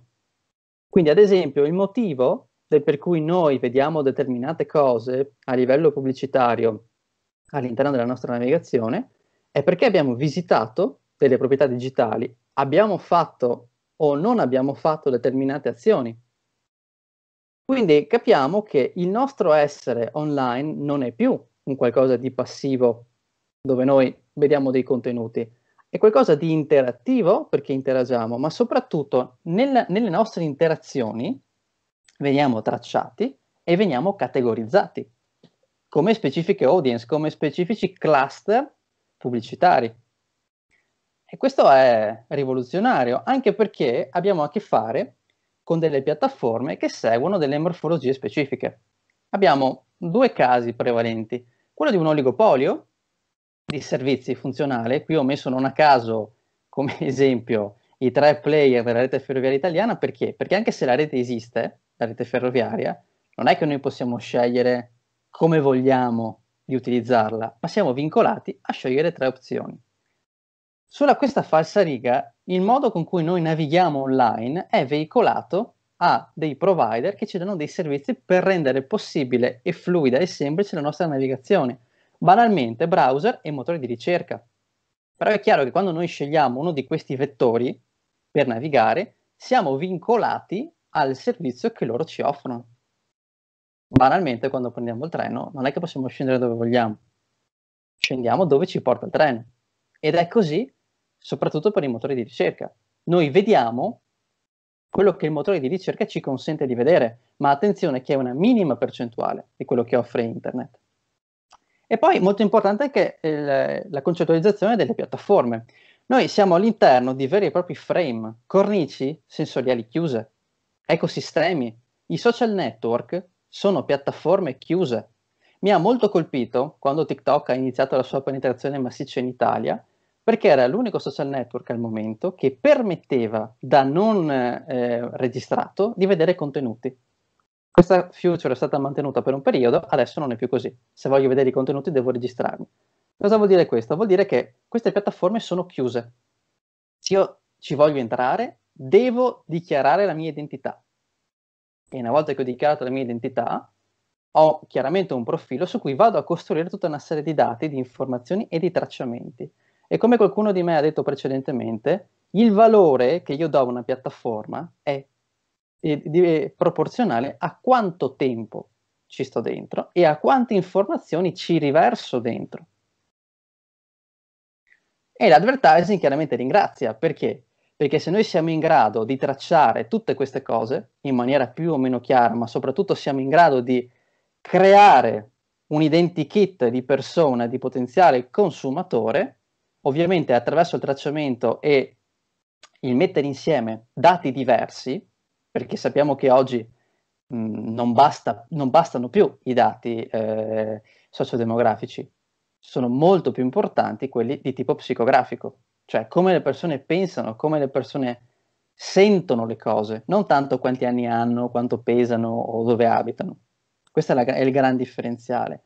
Quindi la pubblicità ringrazia perché? Perché consente di fare un advertising sempre più targetizzato. La cosa importante è capire questi dati che vengono raccolti, come vengono utilizzati ed esserne, come dire, un, un attimo consapevoli prima di avere un atteggiamento da integrati o apocalittici verso eh, la pubblicità digitale. Allora, questi dati vengono utilizzati essenzialmente per avere mh, delle analisi di performance dei servizi. E questo è, come dire, la cosa più normale, perché qualsiasi prodotto di tipo informatico registra le operazioni che vengono, questo banalmente per verificarne lo, le, l'ottimo funzionamento. Quindi su questo non, dire, non, dovremmo spaventarci più di tanto, ma nemmeno sul resto in realtà, perché eh, viene tracciato quello che noi facciamo e quindi conseguentemente quello che noi indirettamente decidiamo di rendere tracciabile. Quindi ad esempio vengono tracciate le, nostre azioni all'interno di un e-commerce, se facciamo o non facciamo qualcosa, Molte volte avrete visto quando andate su Amazon non acquistate qualcosa, poi siete perseguitati da tutta una serie di banner che cercano di riportarvi all'interno della piattaforma. L'analisi e il tracciamento poi è alla base di quella che è la tecnologia più avanzata nell'advertising digitale, che è quella del real time marketing, cioè quello di, eh, attraverso il programmatic advertising, di riuscire a proporre una comunicazione personalizzata in base alle scelte e ai gusti dell'utente. Vi sarà capitato molte volte, magari provate a confrontarlo vicino a un'altra persona, se andate nello stesso portale non vedrete le stesse pubblicità, ma banalmente, anche se navigate da un dispositivo a un'altra, non vedrete le stesse cose. Questo perché? Perché le operazioni di navigazione, le scelte di acquisto e tutto quello che riguarda l'interazione con i contenuti che fate su diversi sono diversi perché si, eh, il tracciamento avviene a partire dall'indizio IP, cioè dall'identità digitale di quella piattaforma. Chiaramente qui il ruolo è molto importante, quello dei player, di chi traccia.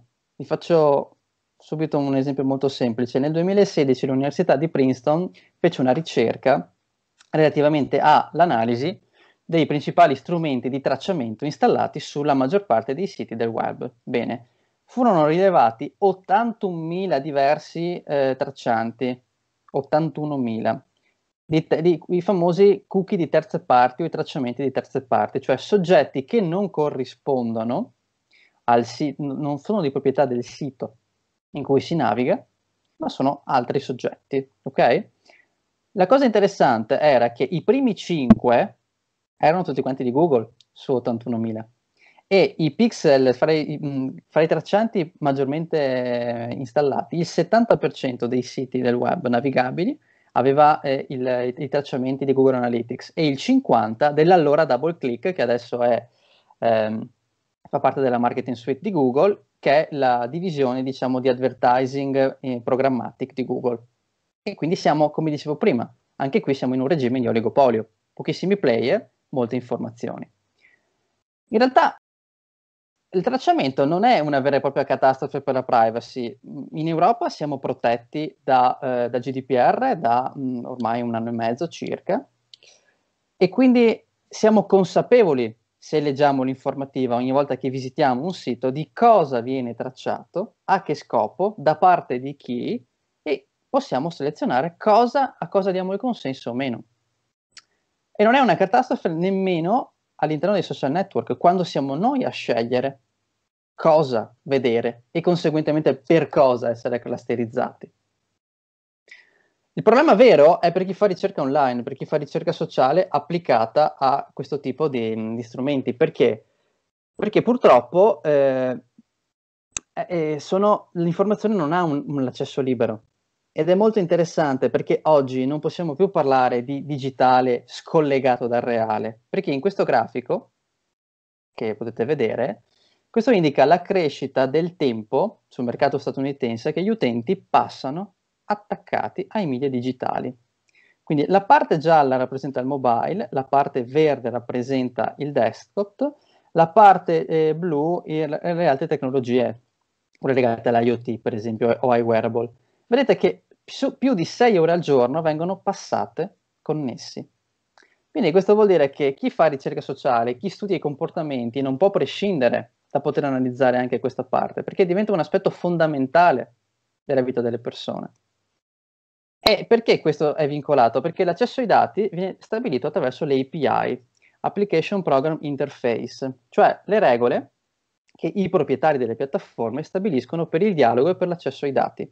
E siccome sono piattaforme chiuse, come dicevamo prima, molto diversamente da quello che qualcuno si ricorda, magari i forum, che erano nella maggior parte delle volte piattaforme aperte o semi-aperte, chi detiene la piattaforma decide che API mettere a disposizione e cosa far vedere o cosa non far vedere.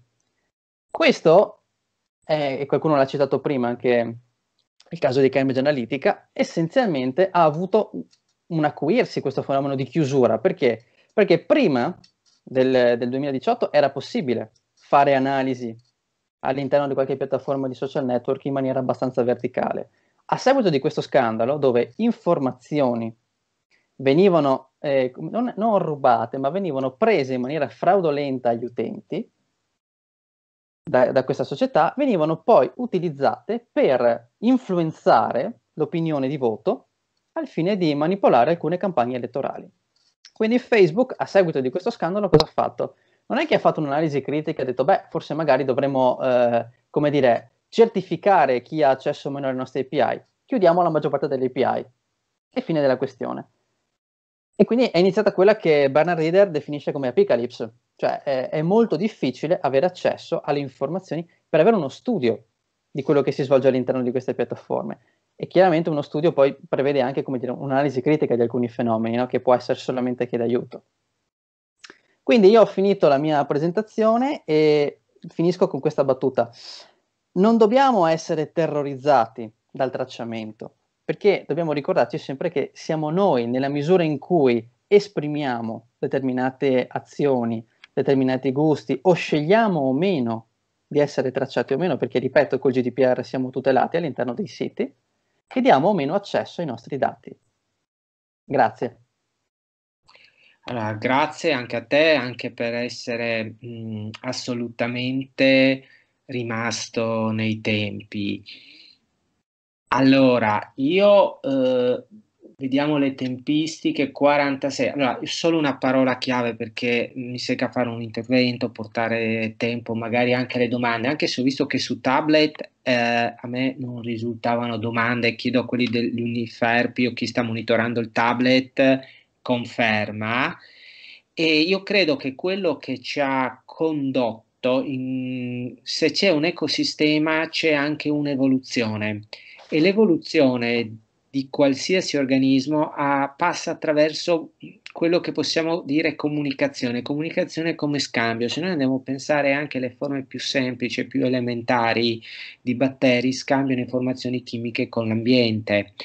E il successo o meno di una forma evolutiva è data proprio dall'interazione di uno scambio casuale con un ambiente. L'informazione, e ogni differenza che crea a sua volta una differenza sotto il profilo giornalistico è quello che Viviamo in un ambiente ad altissima densità informativa, sempre col concetto di teoria informazione che genera differenza, per cui viviamo uh, in una eh, realtà ad un altissimo cambiamento evolutivo per cui ci viene richiesto di essere altamente adattivo. E io credo che eh, la comunicazione sia questa, perché la comunicazione è perennemente scambio, cioè insito già nell'essere eh, umano lo scambio con informazioni, privato dalle informazioni, qualsiasi essere umano perde proprio il controllo, la cognizione, un suo equilibrio psicologico.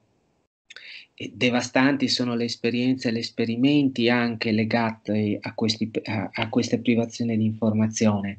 Ora questo sostrato informativo si è esteso, sempre per citare McLuhan, dalle protesi a protesi connettive, eh, alla LEDI, cioè collettiva delle vie e connettive alla De Kerkhove, viviamo un universo di informazioni in rapidissimo cambiamento. Allora io vi dico sempre, eh, noi possiamo farci gestire e subire il cambiamento, noi possiamo gestire attraverso lo scambio di informazione il cambiamento e possiamo essere identificati attraverso la reputazione che noi riusciamo a trasmettere su come riusciamo a gestire i cambiamenti su quelli che sono i trend setter, i cacciatori di tendenza, in questo caso la tendenza evolutiva.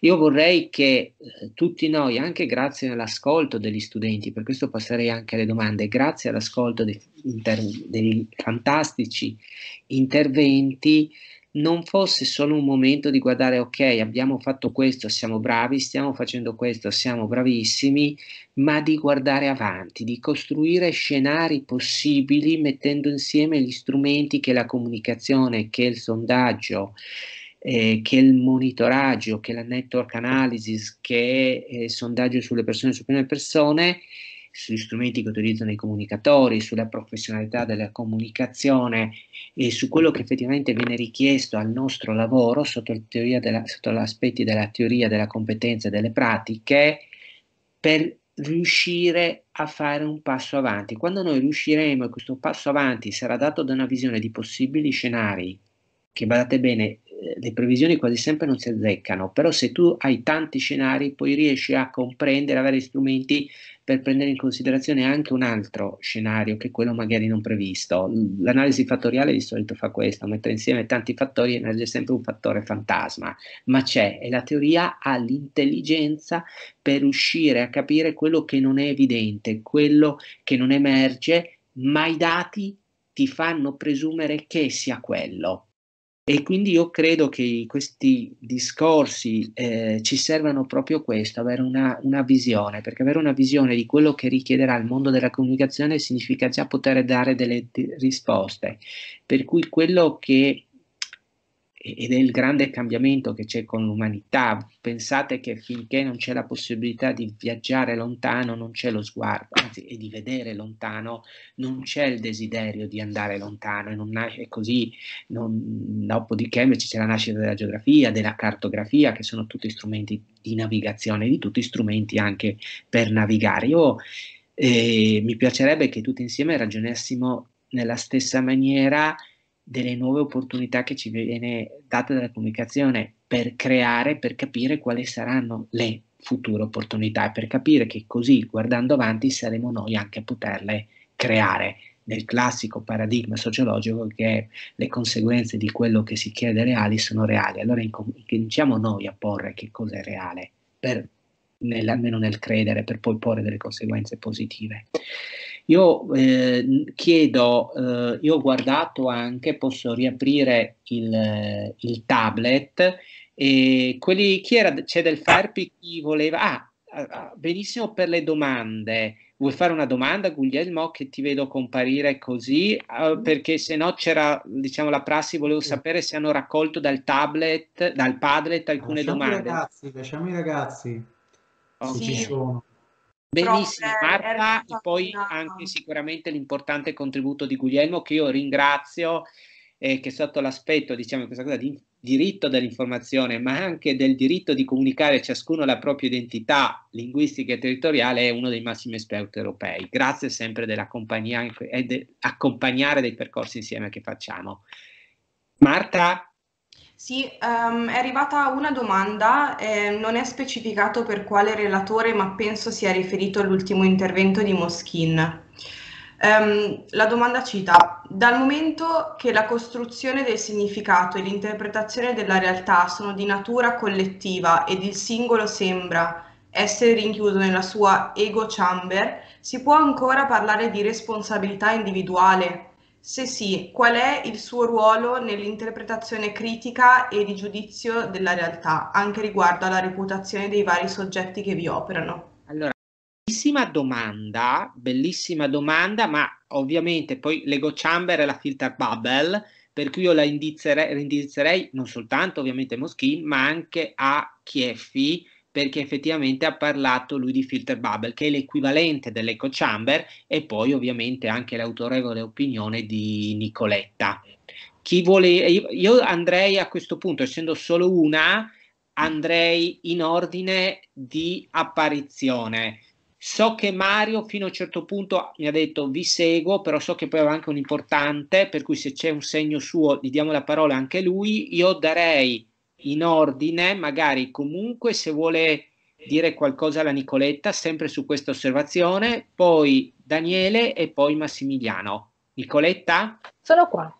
Allora, sono qua, grazie, ma credo anch'io che la domanda sia molto molto interessante perché tocca un tema che è, diciamo, ovviamente centrale nella riflessione di tutti e tre, l'eco chamber e la filter bubble, e, ehm, e le mette in relazione alla, alla scelta individuale, all'arbitrio individuale. Allora, eh, in realtà eh, diciamo queste piattaforme mi sembra che non possiamo dire che siano totalmente manipolatorie, no? quindi credo che possiamo tranquillamente dire che eh, l'arbitrio individuale continua, continua a restare attivo e ad esistere.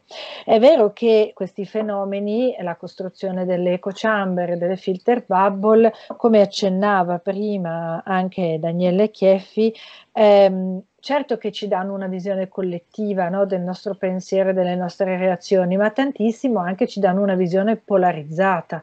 Allora, eh, credo che mh, mm, questo sia un po' il punto in cui eh, viene messo eh, in discussione eh, come contribuiscono a farci acquisire una posizione individuale e comunque un'opinione individuale, non tanto schiacciandoci eh, dentro una esclusiva dimensione collettiva, perché questo non, non succede, ma certamente portandoci verso l'elaborazione di scelte e di posizioni individuali che sono molto polarizzate e che quindi si definiscono soprattutto per differenza e opposizione rispetto agli altri piuttosto che attraverso un processo di negoziazione e raggiungimento di una, di una, di una, di una visione comune. Quindi credo che appunto in questa relazione che chi ha fatto la domanda cercava di, eh, di mettere a fuoco, questo sia un punto importante. E poi lascio anche agli altri. Grazie Daniele. Ti sentiamo e adesso Eccomi. Scusami, stavo litigando con il microfono e la telecamera. No, sono d'accordo con la professoressa Vittarini. Mi permetto di aggiungere un, un ulteriore piccolo tassello. Um, libero arbitrio, se vogliamo usare una, una, categoria non esattamente aderente al digitale, il libero arbitrio esiste, continua a esistere ed è assolutamente centrale nella misura in cui però dobbiamo tenere in considerazione il fatto che noi ci approcciamo alle nostre realtà cognitive e quindi anche le piattaforme attraverso sì le nostre libere scelte, ma attraverso anche i nostri bias cognitivi e le piattaforme, eh, i bias cognitivi sono in grado non solo di intercettarli, ma anche di esaltarli. Mi spiego bene. Eh, se parliamo per esempio di confirmation bias, che è una delle principali caratteristiche che abbiamo da un punto di vista di rapporto con la realtà, il fatto che noi cerchiamo costantemente la conferma di ciò che crediamo e non cerchiamo di capire le cose come stanno da un punto di vista empirico, nutre in questo senso l'algoritmo e fa sì che uh, diventino non tanto più delle echo chamber o se vogliamo delle filter bubble, ma diventino delle bolle di iperconferma di quello che noi crediamo. Quindi se noi siamo convinti che il mondo sia blu, tenderemo poi a vedere costantemente il mondo sempre più blu perché l'algoritmo ci restituirà uh, un mondo sempre più blu. Uh, in questo senso concordo con la professoressa Vittadini, aggiungo però che uh, il libero arbitrio in questo senso, e quindi la libertà di scelta, sta nella consapevolezza e nel, quindi nel cercare di rompere noi la filter bubble. Mi spiego? se sappiamo che guardando il nostro stream di Facebook avremo sempre quel tipo di uh, risposta, se sappiamo che scrivendo perché vogliamo cercare di capire meglio sui vaccini i pericoli dei vaccini, ma se scriviamo sulla stream di ricerca di Google pericolo vaccini, inevitabilmente Google ci restituirà, per, per ragioni semantiche inutili che, che, che, spieghiamo adesso, dei contenuti che contengano, perdonate il gioco di parole, eh, pericolo e quindi probabilisticamente sempre più testi piuttosto che, che uh, vaccinisti, allora noi non stiamo operando la nostra libertà di scelta. La libertà di scelta nasce sulla consapevolezza, quindi se vogliamo fare una ricerca sui pericoli dei vaccini, teoricamente quelli potrebbero essere pericoli dei vaccini, va svuotata la cache, smontato il browser, reinstallato completamente, eh, anonimizzata la ricerca e va scritto vaccino. Punto. Però questo chiede una consapevolezza tecnica e culturale che non tutti hanno. Allora, chiudo perché non voglio rubare tempo agli altri colleghi dalla consapevolezza nasce la capacità di operarlo il libero arbitrio, perché altrimenti non lo possiamo fare. Massimiliano? Eccomi qua.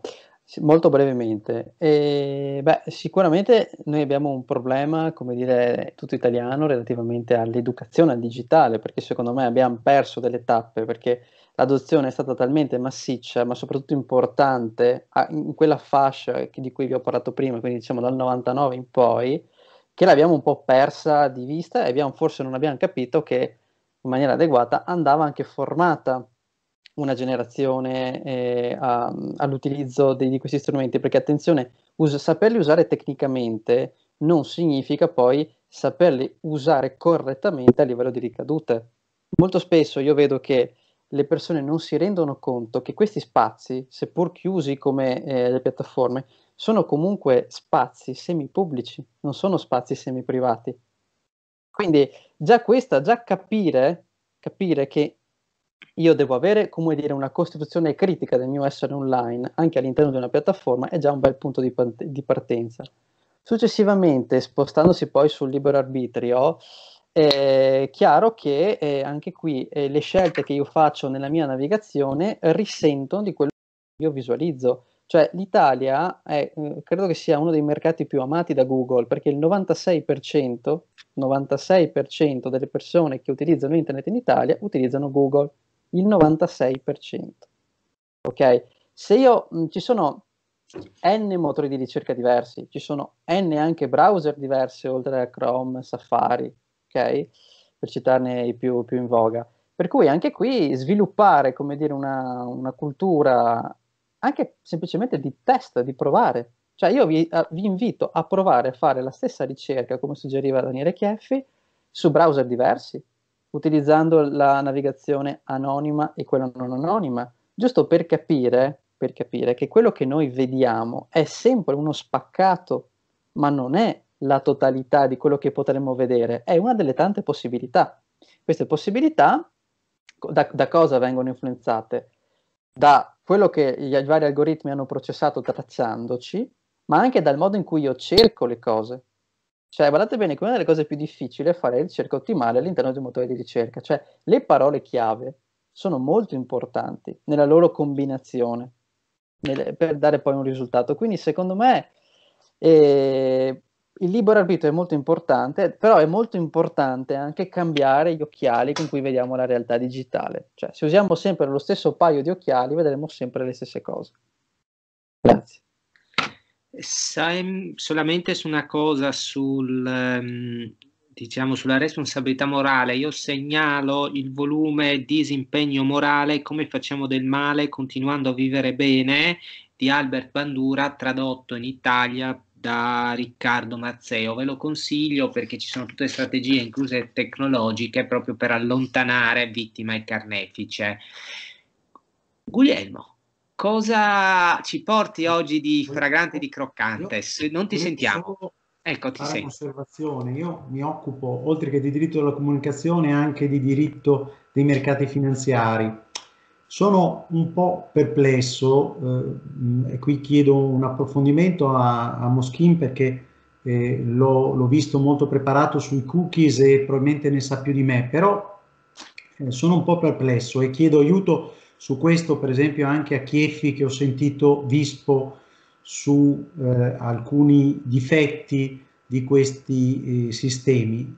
E, allora, intanto c'è eh, un sociologo, dovrebbe segnalarmi, ecco, anche tu Nicola, questo aspetto dell'automatismo, cioè con i cookies c'è un automatismo e, e quindi mh, sfido a, ad avere una consapevolezza di cosa si, si accetta con i cookies quando c'è questo automatismo nella fretta di voler vedere qualcosa. Poi aggiungo anche un altro elemento, occupandomi di, di diritto dei mercati finanziari, anche lì c'è il discorso sull'educazione digitale, cioè che colpa della gente che non sa quello che fa e così via. Ho qualche dubbio perché se noi effettivamente avessimo una consapevolezza di cosa facciamo quando consentiamo il tracciamento, spareremmo col fucile a pompa a chi ce lo chiede, cioè se noi in, in, nella realtà normale troviamo qualcuno che ci viene a dire eh, scusa, se tu accetti io ti metto una, una cavigliera elettronica e ti seguo in tutto quello che fai, eh, no, la nostra risposta sarebbe, beh, eh, scusami, grazie, anche no, saluti, arrivederci. Ecco, invece con eh, questo tipo di, di, approccio, cioè l'automatismo e, e, tra l'altro anche il, il mancato eh, svolgimento dei loro compiti delle, delle, autorità amministrative indipendenti che interpretano in questa maniera burocratica, ah, avete la possibilità di scegliere sì o no, fate, cioè, avete accettato voi i cookies? No, c'è un problema di consapevolezza. Anche qui io sono un giurista, il diritto si applica per le finalità per le quali è stato posto. Quindi se ci sono degli automatismi che creano una una distorsione poi eh, nella situazione che si viene a creare, eh, bisogna correggerli, bisogna correggerli, nel senso che le, le istituzioni devono fare il loro compito e anche noi dobbiamo cercare di evidenziare come eh, la profilazione sia una cosa che eh, eh, i numeri che ha detto Moschin sono mostruosi, cioè se io faccio qualcosa su internet e poi mi trovo eh, profilato da, tra l'altro, tantissimi soggetti, tantissimi soggetti, non solo quelli che pensavo, Google, eccetera, eccetera, ma una moltiplicazione pazzesca, è, è chiaro che non è, non è accettabile. Chiedo scusa, ho parlato anche troppo, scusatemi. Grazie. Allora, io farei adesso in ordine anche inverso, visto che ho iniziato, farei Moschin. Eh, Daniele, se vuole aggiungere qualcosa, poi Nicoletta. Quindi Massimiliano. Allora, la domanda è giustissima e molto corretta. Devo dire che prima del GDPR noi sapevamo quasi poco nulla, quindi già questo secondo me è un gran passo avanti perché quantomeno adesso i titolari dei domini delle proprietà digitali sono costretti a dichiarare chi è il soggetto che incamera i dati e quindi eh, chi è che lo gestisce e quantomeno a spiegarci in maniera più o meno comprensibile, perché poi c'è sempre questo, questo discriminante, cosa ne viene fatto. Va detta anche un'altra cosa, giustamente si tratta di un equilibrio fra giurisprudenza, economia di mercato e servizi. È chiaro che eh, chi eh, utilizza i cookie ha il pieno interesse a tracciare gli utenti. Perché? Perché rivende pubblicità o rivende dati. L'utente in cosa ha interesse a venire tracciato? Perché riceve qualcosa in cambio, che sono i contenuti. Perché badate bene, eh, noi siamo stati abituati che su internet è tutto gratis. Ah, non è che in, su internet è tutto gratis. Su internet è gratis quando noi cediamo. Io farei una, se facessimo un questionario adesso chiederei a quanti di voi almeno una volta nella vita hanno lasciato i propri dati pur di scaricare un software gratis.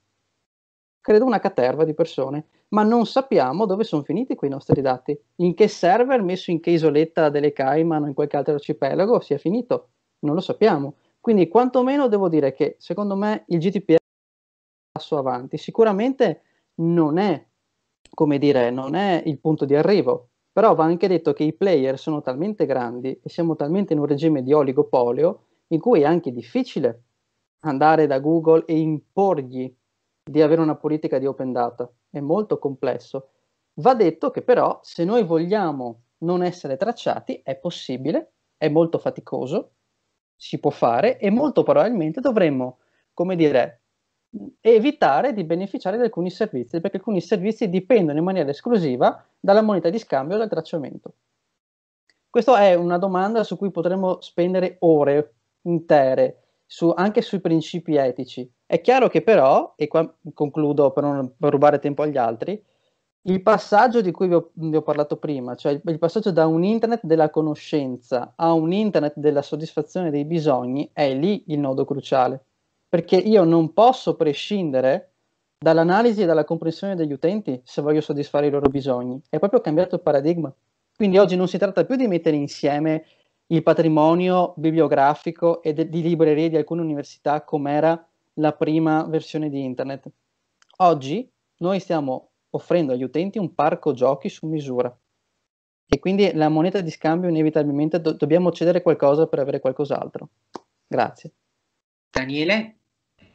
Ma non difficile aggiungere qualcosa a quello che hanno detto i colleghi. Eh, rispetto, mh, po- posso provare a, a, fare un'ulteriore riflessione, cioè Uh, a parte la battuta del che se usi un servizio gratis in realtà il prodotto sei tu, no? Per cui cioè, questa è una cosa abbastanza, uh, abbastanza netta. Allora, il problema del tracciamento, il problema dei dati è a tutti... Io sono perfettamente d'accordo con il professor Moschini. Uh, viviamo in un mondo nel quale noi siamo obbligati a conoscere i nostri interlocutori. Obbligare, obbligati a conoscere i nostri interlocutori non perché gli vogliamo vendere eh, qualsiasi, anche ovviamente, ma non solo perché gli vogliamo vendere quello che effettivamente loro vogliono comprare, ma soprattutto perché in, essendo un mondo conversazionale, essendo un mondo di relazione, perché poi alla fine i brand eh, sappiamo perfettamente, soprattutto noi comunicatori, che conversano, costruiscono relazioni ormai, non comunicano sic, sic e simpliciter. Nel momento in cui noi dobbiamo costruire una relazione, una conversazione, dobbiamo essere in grado di costruire del valore per i nostri interlocutori. E per costruire del valore per i nostri interlocutori dobbiamo essere in grado di capire che cosa sia per i nostri interlocutori effettivamente un valore. Questo mi sembra un'equazione indiscutibile. In questo i dati sono fondamentali il conoscere quindi non solamente i trend, le abitudini di acquisto, le abitudini di navigazione, che vanno benissimo per un approccio commerciale, ma io so che ormai uh, le aziende, i brand stanno andando anche molto oltre questo aspetto. Per esempio, nell'ambito della misurazione reputazionale, quello che viene misurato in termini di dati, quello che viene raccolto in termini di dati dalle communities, non è più neanche tanto il trend o l'argomento di conversazione, sono le sensibilità profonde, gli aspetti etico-morali, le simbologie, ciò che le persone ritengono giusto o sbagliato, ciò che ritengono contestualmente la realtà e sulla base di questa concezione contestuale il modo in cui eh, reagiscono a determinati temi e a determinate situazioni. Questi sono delle, degli approfondimenti a livello di dati estremamente verticali, estremamente profondi, però estremamente pericolosi. Cioè vanno gestiti, ecco, direi che l'ultima parola chiave che voglio gettare nel dibattito è responsabilità.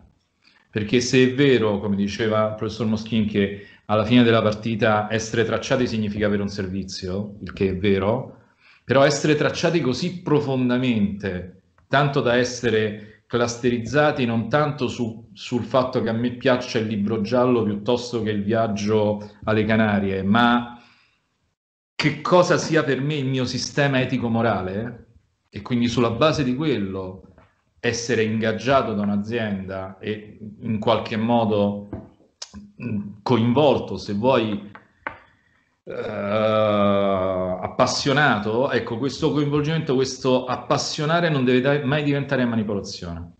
Il confine è estremamente sottile, ma estremamente sottile, e passare dal ti coinvolgo in maniera positiva perché ti do qualcosa di cui tu hai veramente profondamente bisogno, oppure mi schiero dalla tua parte in una battaglia che io sento mia, social activism, tanto per mh, dire una cosa che un, in questo momento va abbastanza di moda, però il confine che divide questo dal intercetto linea, il tuo sistema etico-morale, lo forzo e ti porto a prendere delle decisioni, magari politiche, magari sociali, magari di schieramento, più dure rispetto a determinate altre situazioni su tematiche molto delicate, il confine è estremamente labile. Quindi è necessario mai come oggi un senso di responsabilità profonda degli operatori professionali della comunicazione, perché abbiamo in mano un potere che non abbiamo mai avuto prima, neanche ai tempi dei grandi sistemi mass mediologici. Passo proprio per la battuta, diciamo le battute conclusive a Nicoletta, se vuoi. E il microfono? Ecco qua.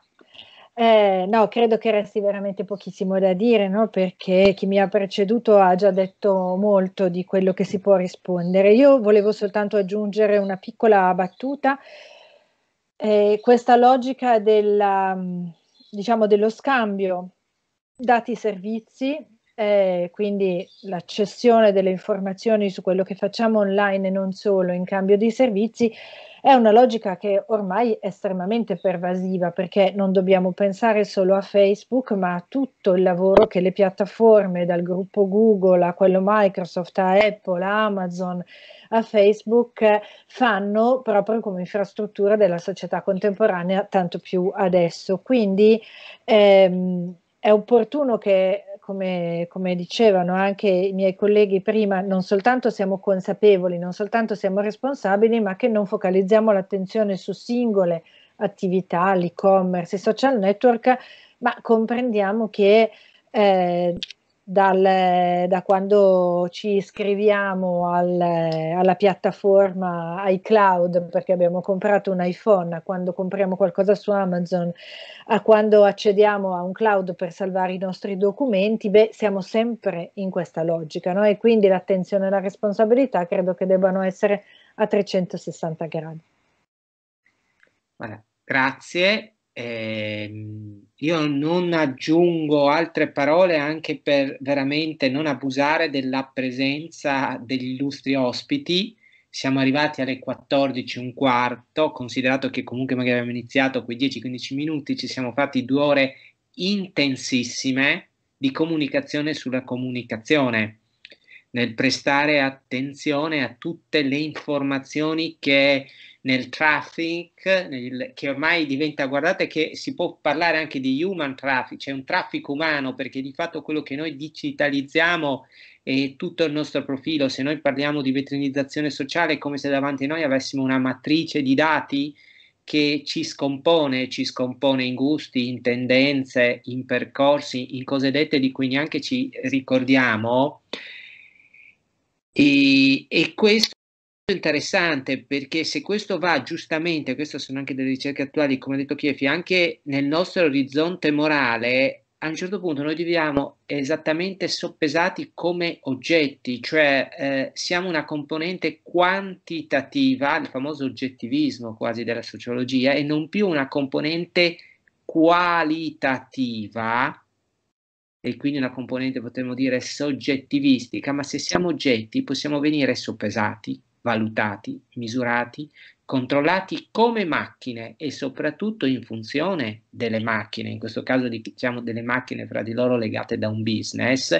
Mm, Galiberti si ferma alla Tecne, ora siamo più in un, in un sistema oligofinanziario, ma è quello che noi di, rischiamo di diventare con tutti i nostri atteggiamenti eh, delle microinformazioni fra di loro ricomponibili e su di queste andare poi a condizionare le future scelte sulla nostra esistenza, che se esiste un, come auspicava anche Guglielmo, un saldo controllo di queste informazioni, sappiamo che non possono andare a influenzare delle scelte lavorative su chi ci assume o chi non ci si assume, delle scelte assicurative sulle nostre malattie, non malattie pregresse o nascosto di familiari incrociate dal DNA, che è il più grande big data che esiste nel DNA, ma sono stati messi in campo ad esempio per, la, eh, per la, eh, intracciare quella situazione che ruotava, di cui si è accusato Bassetti, Iara, e lì abbiamo parlato, lì si trattava di analizzare dei grandi big data che le persone lasciavano dietro di loro, il DNA